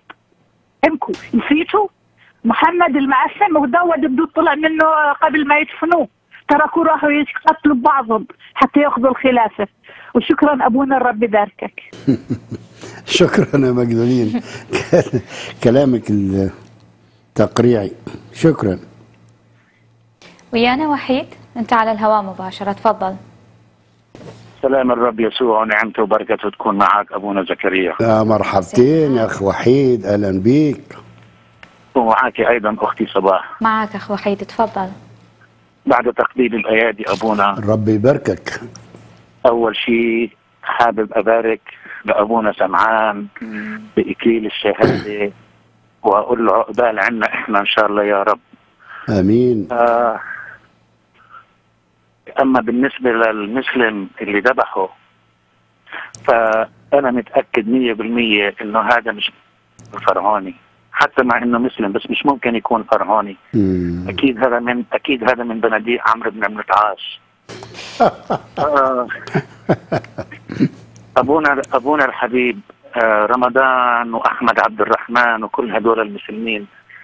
أنا لما قريت الإنجيل مرة بتذكر قلت لك ما كنت أعرف شيء عن شيء يا أبونا بس رب المجد المجد لاسمه. أمين. فتح لي عيوني ونور لي مخي ونور لي قلبي وفهمني الحق. آمين آمين. علشان علشان هيك رب المجد اللي بيعلم بالغيب طبعا هو العالم بكل شيء. إيش راح يصير؟ علشان هيك قال أنا اللي بختاركم مش أنتم اللي بتختاروني. تمام. وقال لها وقال لأبانا السماوي أعطيني اللي أنت أعطيتني إياهم. الاجل هذول لإلي. وبنفس الوقت قال ما حدا بيجيني إذا ما استجبوا إذا ما آه، استجبوا أبي. ليش؟ اللي فهمته أنا من هذا اللي قريته كله. رب المجد عارف مين فينا من نسل آدم وحواء ومين فينا من نسل الجن. علشان هيك علشان هيك مش ممكن مش ممكن آه، مثل الجن الرب يرضى عنه حتى ولا حتى ي- ي- ي- يتدلع عليه. لأنه مش لإله. إذا أنتم بنون فالرب يؤدبكم وإن كنتم نغور فالرب لا يؤدبكم. فأنا بصراحة يا ابونا برأيي أنا إنه من أثمارهم تعرفونهم. طبعا تمام. بيعملوه اللي بيعملوه هدول آه ال- ال- ال- المسلمين آه مش ممكن مش ممكن مش ممكن يكونوا من نسل آدم وحواء أكيد من نسل الجن سموا سمها الرب هو اللي بيعلم. لبسهم أما بال... أما بالنسبة لعبد الرزاق عبد الرازق عبد الرزاق أبونا زكريا يطول لنا الرب بعمره ويخلي لنا إياه بركة هيك الله ينور لنا مخوخنا وي... وي... وي... ويكشف آه، الشيطان. وكتاب الشيطان القرآن تبعك. يا جاوبك عن عن عن مسألة الفداء بما فيه الكفاية بس حابب أحكي لك كلمة واحدة يا عبد الرجاء. ربي يسوع المسيح المجد لاسمه. آمين. أقوى من القوة بنفسها. تمام. ليش؟ ليش إنه أقوى من القوة بنفسها؟ مش لأنه كان بإمكانه إنه يجيب ملائكة جيوش ويدافعوا عنه. بس هذه خطة الرب منذ الأزل إنه يروح يمشي بإجريه علشان هيك هو أقوى من القوة. مشي بإجريه على الصليب علشان يسفك دمه الطاهر علشان يفدي البشرية. هذا هو القوي هذا هو هذه الجرأة. أما قل لي عن محمدك أنت والجيوش اللي عمل اللي عملها علشان تدافع عنه؟ كيف مات؟ مات مسموم زي الجردون. ومرة اللي سمته. تمام. مات مسموم يا عبد الرزاق يا عبد الرازق. مات مسموم. تمام. لساته ولساته تحت الأرض ميت بس ربي يسوع المسيح حي في السماء. تمام. سلام الرب يكون معك أبونا زكريا. شكرا يا أخ وحيد العابر. شكرا ليك وربنا يباركك. هذه هي العقول التي تفتحت على نور نعمة المسيح. شكرا يا وحيد. ويانا عابرة تفضلي. ألو؟ أهلا. ألو يا, أهلا. بيك يا عابرة رجعت لنا تاني؟ إن شاء الله أبونا. طيب كويس. أبونا يعني بالنسبة للكتاب المقدس مم. مستحيل يتحرف لأنه هو كل أمثال يعني مبين الكتاب من تقراه مبين يعني هسه أنا من أي كتاب اني اني ممثلة ومسرحية وأعرف وعايشة ويا ويا المؤلفين. أعرف الكتاب المؤلف قبل ما اقراه بس أعرف العنوان ماله أعرف الكتاب شنو أعرف ال- المؤلف شنو شخصيته. يعني الكتاب المقدس ما ما ما ما حد يقدر يحرفه ما يتحرف. هو ما يتحرف تلقائيا ما يتحرف. آمين آمين. لأنه هو كله يقول أمثال يعني كلام من رب العالمين ما يتحرف. مم. أنا هم كنت أسمع من المسلمين يقولون الإنجيل محرف والتوراة محرف. لا ما قريت الت- التوراة نصها موجودة بالقرآن. يعني منقولة يعني أني صف أول ابتدائي من كنت أقول لهم أقول لهم شو رب العالمين يقولون؟ صلى الله اللهم صل على محمد وآل محمد. أقول لهم قابل الله يصلي على بشار يقولون هو الله أول ما يجي هو الله صلى على محمد. شلون الله هذا الكبير يصلي على بشر؟ يعني أنا صف سادس ابتدائي. هاي الفكرة جت بدماغي. أبونا. ولحد هاي اللحظة اني أفكر بهذا التفكير. ما مقتنعة به وازيدك علم عن المسلمين. عن المسلمين أنا الكتاب المقدس كله يعني تقريبا ما راح اخلصه قريته كله تقريبا. زين بس شنو يعني كله يوم إيش أقول لك؟ أقول فدوى روح الرب يسوع. فدوى روح خلقته كله محبه وحب و... وجمال وما بي ما بي شيء يخوف مثل. مثل القرآن اللي مكتوب هم كاتبين كا- كاتب جايب من القران من. من التوراة شوية من افكار من بنات أفكاره شوية حاط من بنات أفكاره من الإنجيل جايب شوية ومسوي قرآن وأكثر شيء جايبه على مرامة على اللي يريده هو. مسويه ومسوي لنا إياه قرآن ومخلي الناس ناس تأكل ناس هسه هاي الناس تأكل ناس ليش هذا كله سبب القرآن؟ تمام تمام. ربنا يباركك يا عابرة. أنت فنانة رائعة وذات رؤية وبصيرة ثاقبة. ربنا يباركك. ويانا أبو ريمون تفضل. مساء الخير. يا مساء النور. أبونا زكريا. مرحبا. الدكتور أبو بنيامين وأختي صباح. أهلا وسهلا. الحقيقة كنا اتكلمنا في المكالمة السابقة عن الآذان. الحقيقة أخويا آه، أبو ريمون؟ الآذان اللي كان مكان ممكن ت- آه، تسمعني؟ ممكن تسمعني؟ ممكن توطي صوت التلفزيون إذا أمكن؟ حاضر حاضر شكرا. حاضر خالص. شكرا. الحقيقة الأذان فيه شوية حاجات كتيرة قوي قوي ملهاش أي واقع الإعراب. طب يا أخ ريمون أخ ريمون لما نيجي لقصة الأذان تبقى تشاركنا بمعلوماتك. لكن هل عندك معلومات بخصوص شبهة تحريف الكتاب المقدس اللي إحنا كنا بنتكلم عنها؟ لا يمكن أن يكون مس اي تحريف. تمام. شكرا جزيلا. محروس من السماء مش مش- مشكور. يملأ قلوبكم بركة. الله يبارك. الله يبارك حياتك يا ابني. شكرا جزيلا أبو ريمون.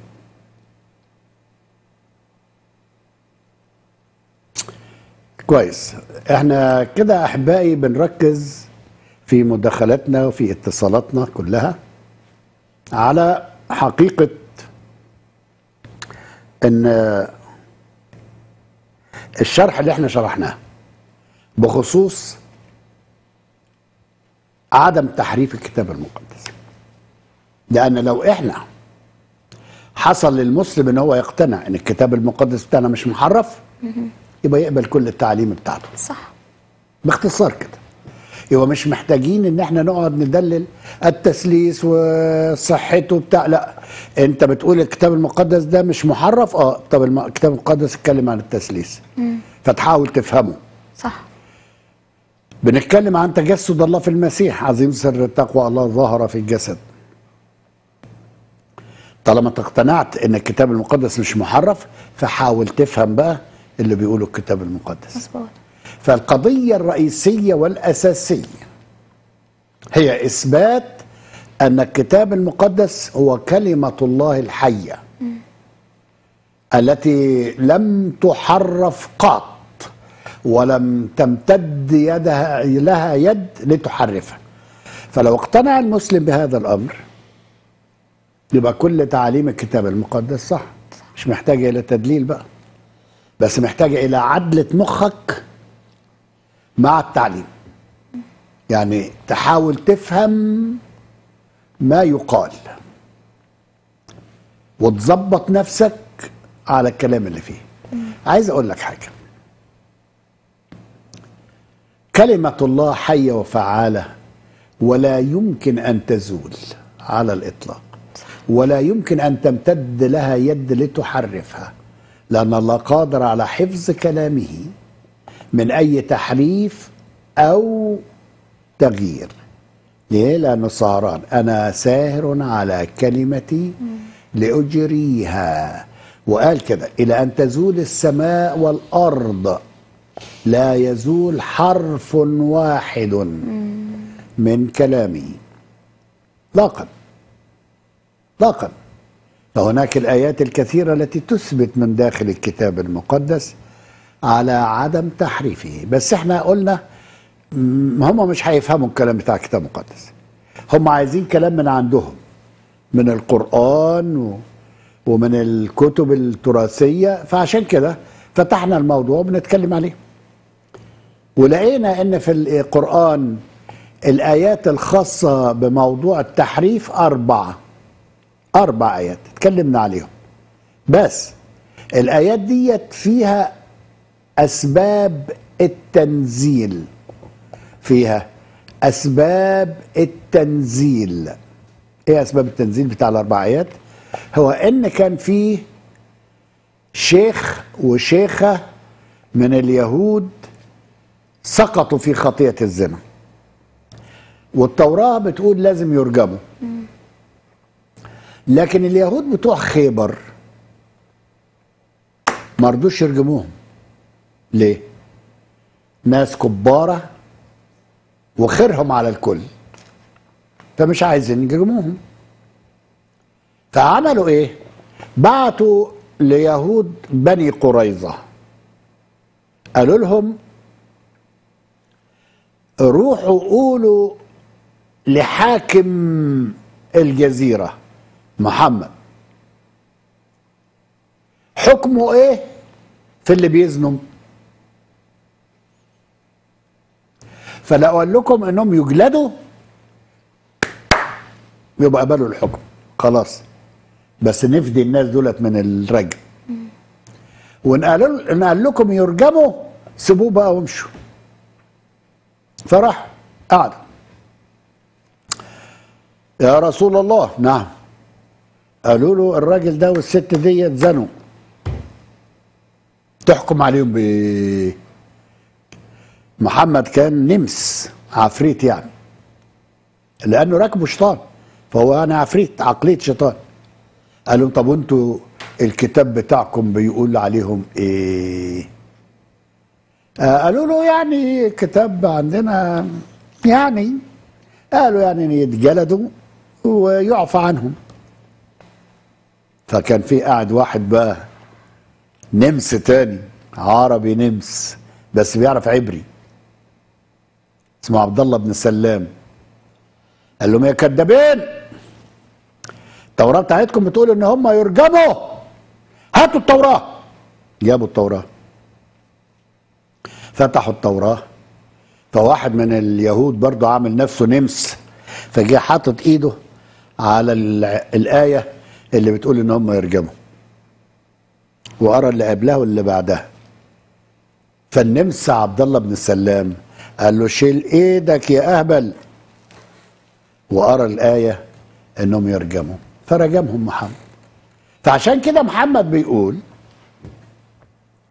إن بعض من اليهود بيغيروا الكلام عن مواضعه يحطوا ايديهم على البتاع ويخفوها ويخفون كلام الله. بالنص قال كده. يخفون كلام الله. بيخفيه نفس القصة دي.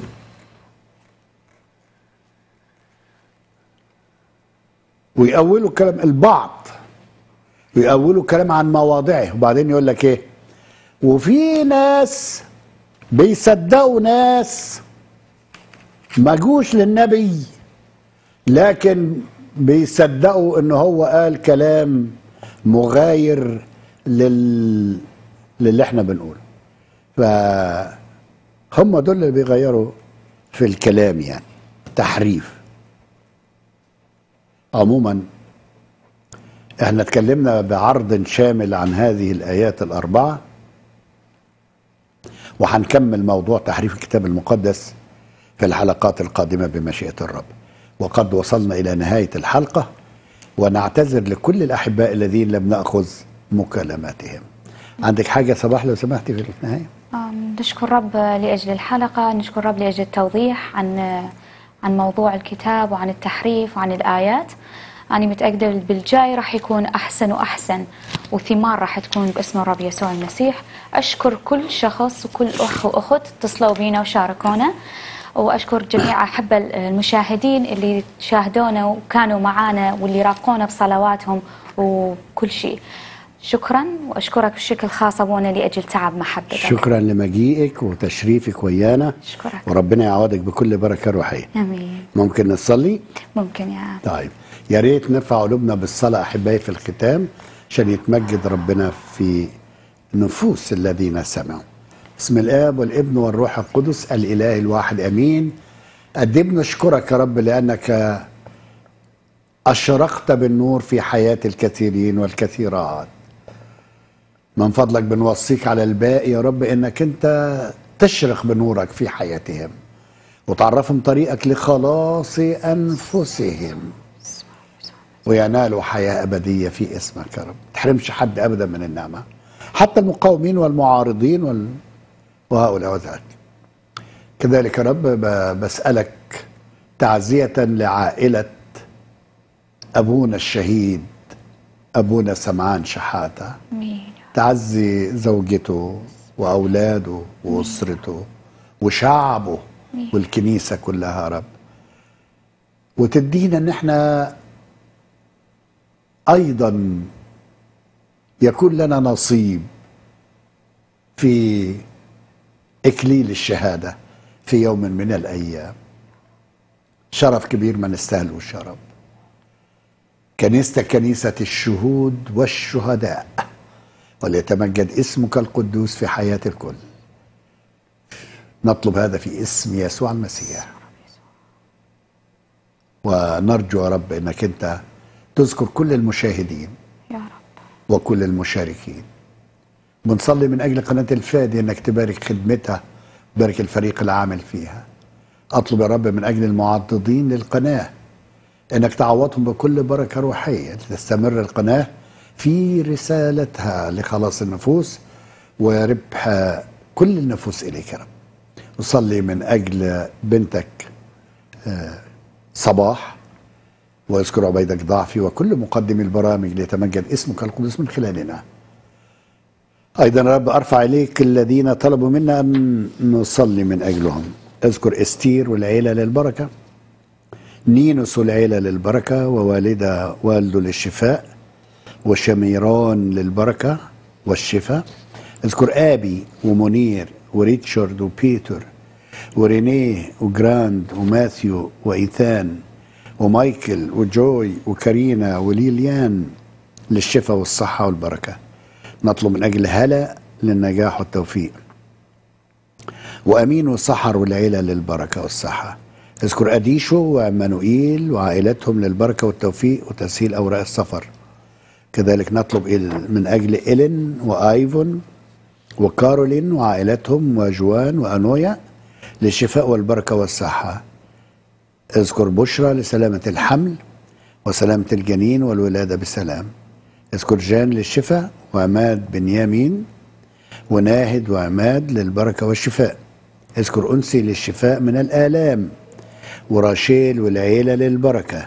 كذلك نطلب من أجل ساري للشفاء النفسي والجسدي والروحي والتلامس وياك. وأيضا أخوات والبنات للتلامس معك. نطلب من أجل سوزان للشفاء النفسي. وسهام والعيلة للبركة. وتريزا والعيلة للسلام والبركة ورايلن للشفاء وصلاح ويليام شكري للشفاء من السرطان وسهام والعيلة للبركة. اذكر أيضا كارلو للنصيب الصالح والياس للابتعاد عن أي شر والشفاء. اذكر نجلاء للتوفيق والبركة وعبلة وكلوديا وريدريقو وسميرة وسعيد والطفل فريد للتوفيق والبركة. اذكر ديانا والياس ودكتورة إيلين وهدى وأنطون ومي للبركة والتوفيق. والسلام لكل العالم. اذكر خليل حسين والعيلة للبركة. نطلب من أجله من أجل بناته للنصيب الصالح. اذكر ميري آه، ووالدها والدتها للشفاء وأخوها لحل المشاكل. نطلب من أجل نادين للنسل الصالح وعبودي للتوفيق في المشروع والعيلة للبركة. أذكر ميري للشفاء من السرطان والعيلة للبركة وطرد كل روح شرير. أذكر والدتها للشفاء من الزهايمر. نطلب من أجل رامي لمعرفة طريقك. واذكر ابن الرب للتوفيق والنجاح والعيلة للبركة. كذلك أيضا نطلب من أجل الطفل جوناثان لتمام الشفاء ووالده والعيلة كلها. اذكر علي لتمام الشفاء والعيلة للبركة. نطلب من أجل أمجد للبركة والشفاء سعاد وزوجها والعيلة للصحة والسلام أوصاف للشفاء والخورية زكية للصحة والبركة مارتينا الديب للشفاء ومرقص ومونيكا الديب للبركة والصحة مهرائيل لتمام الشفاء عماد لحل مشاكل العمل وتدبير أمور حياته. كذلك نطلب من أجل ماريا لتمام الشفاء من الغدة والنسل الصالح ويوسف للبركة. اذكر ابن الرب للشفاء والبركة وبنت المسيح وأولادها لتدبر أمور حياتهم وإبعاد كل شر عنهم وتعطيهم البركة والصحة. آمين. اذكر الكل في مراحمك يا سيدنا. والآن محبة الله الآب ونعمة الابن الوحيد وشركة الروح القدس تكون مع جميعكم. إلى اللقاء في برامج القناة اليومية. وسلام الرب يشملكم. آمين. الدين اللي بيقول إن أنا أتقتل لما أخرج قصاد حاكم ظالم ومجرم ومستبد وفاسد وحرامي فيه كل العبر. طب وأنا اؤمن بهذا الدين ليه؟ أنت تعلم إن في أحد المبشرين في أحد القنوات فتح الموضوع ده أكتر من 20 مرة ولا واحد منكم تفضلي فاهمين إن الأزهر مقصر انه ما بيردش. على زكريا. معقولة ده جمال كل المبادئ بتاعت الديمقراطية كفر بالله. وبعدين ما تابش. يقتل. برضه وعلشان كده في كثير من الناس بترتد عن دين الإسلام في السنوات الأخيرة. زكريا بطرس عامل لك عقد نفسي قوي لا ده أنا بقول لك لو شفته عقاب بالايد أتحدى لو استطاع أن يرد على ما يقال عن الإسلام. لا أستاذنا يقدر يرد ولا غيره. لو ده دين الإسلامي أنا خارجة منه أصلا.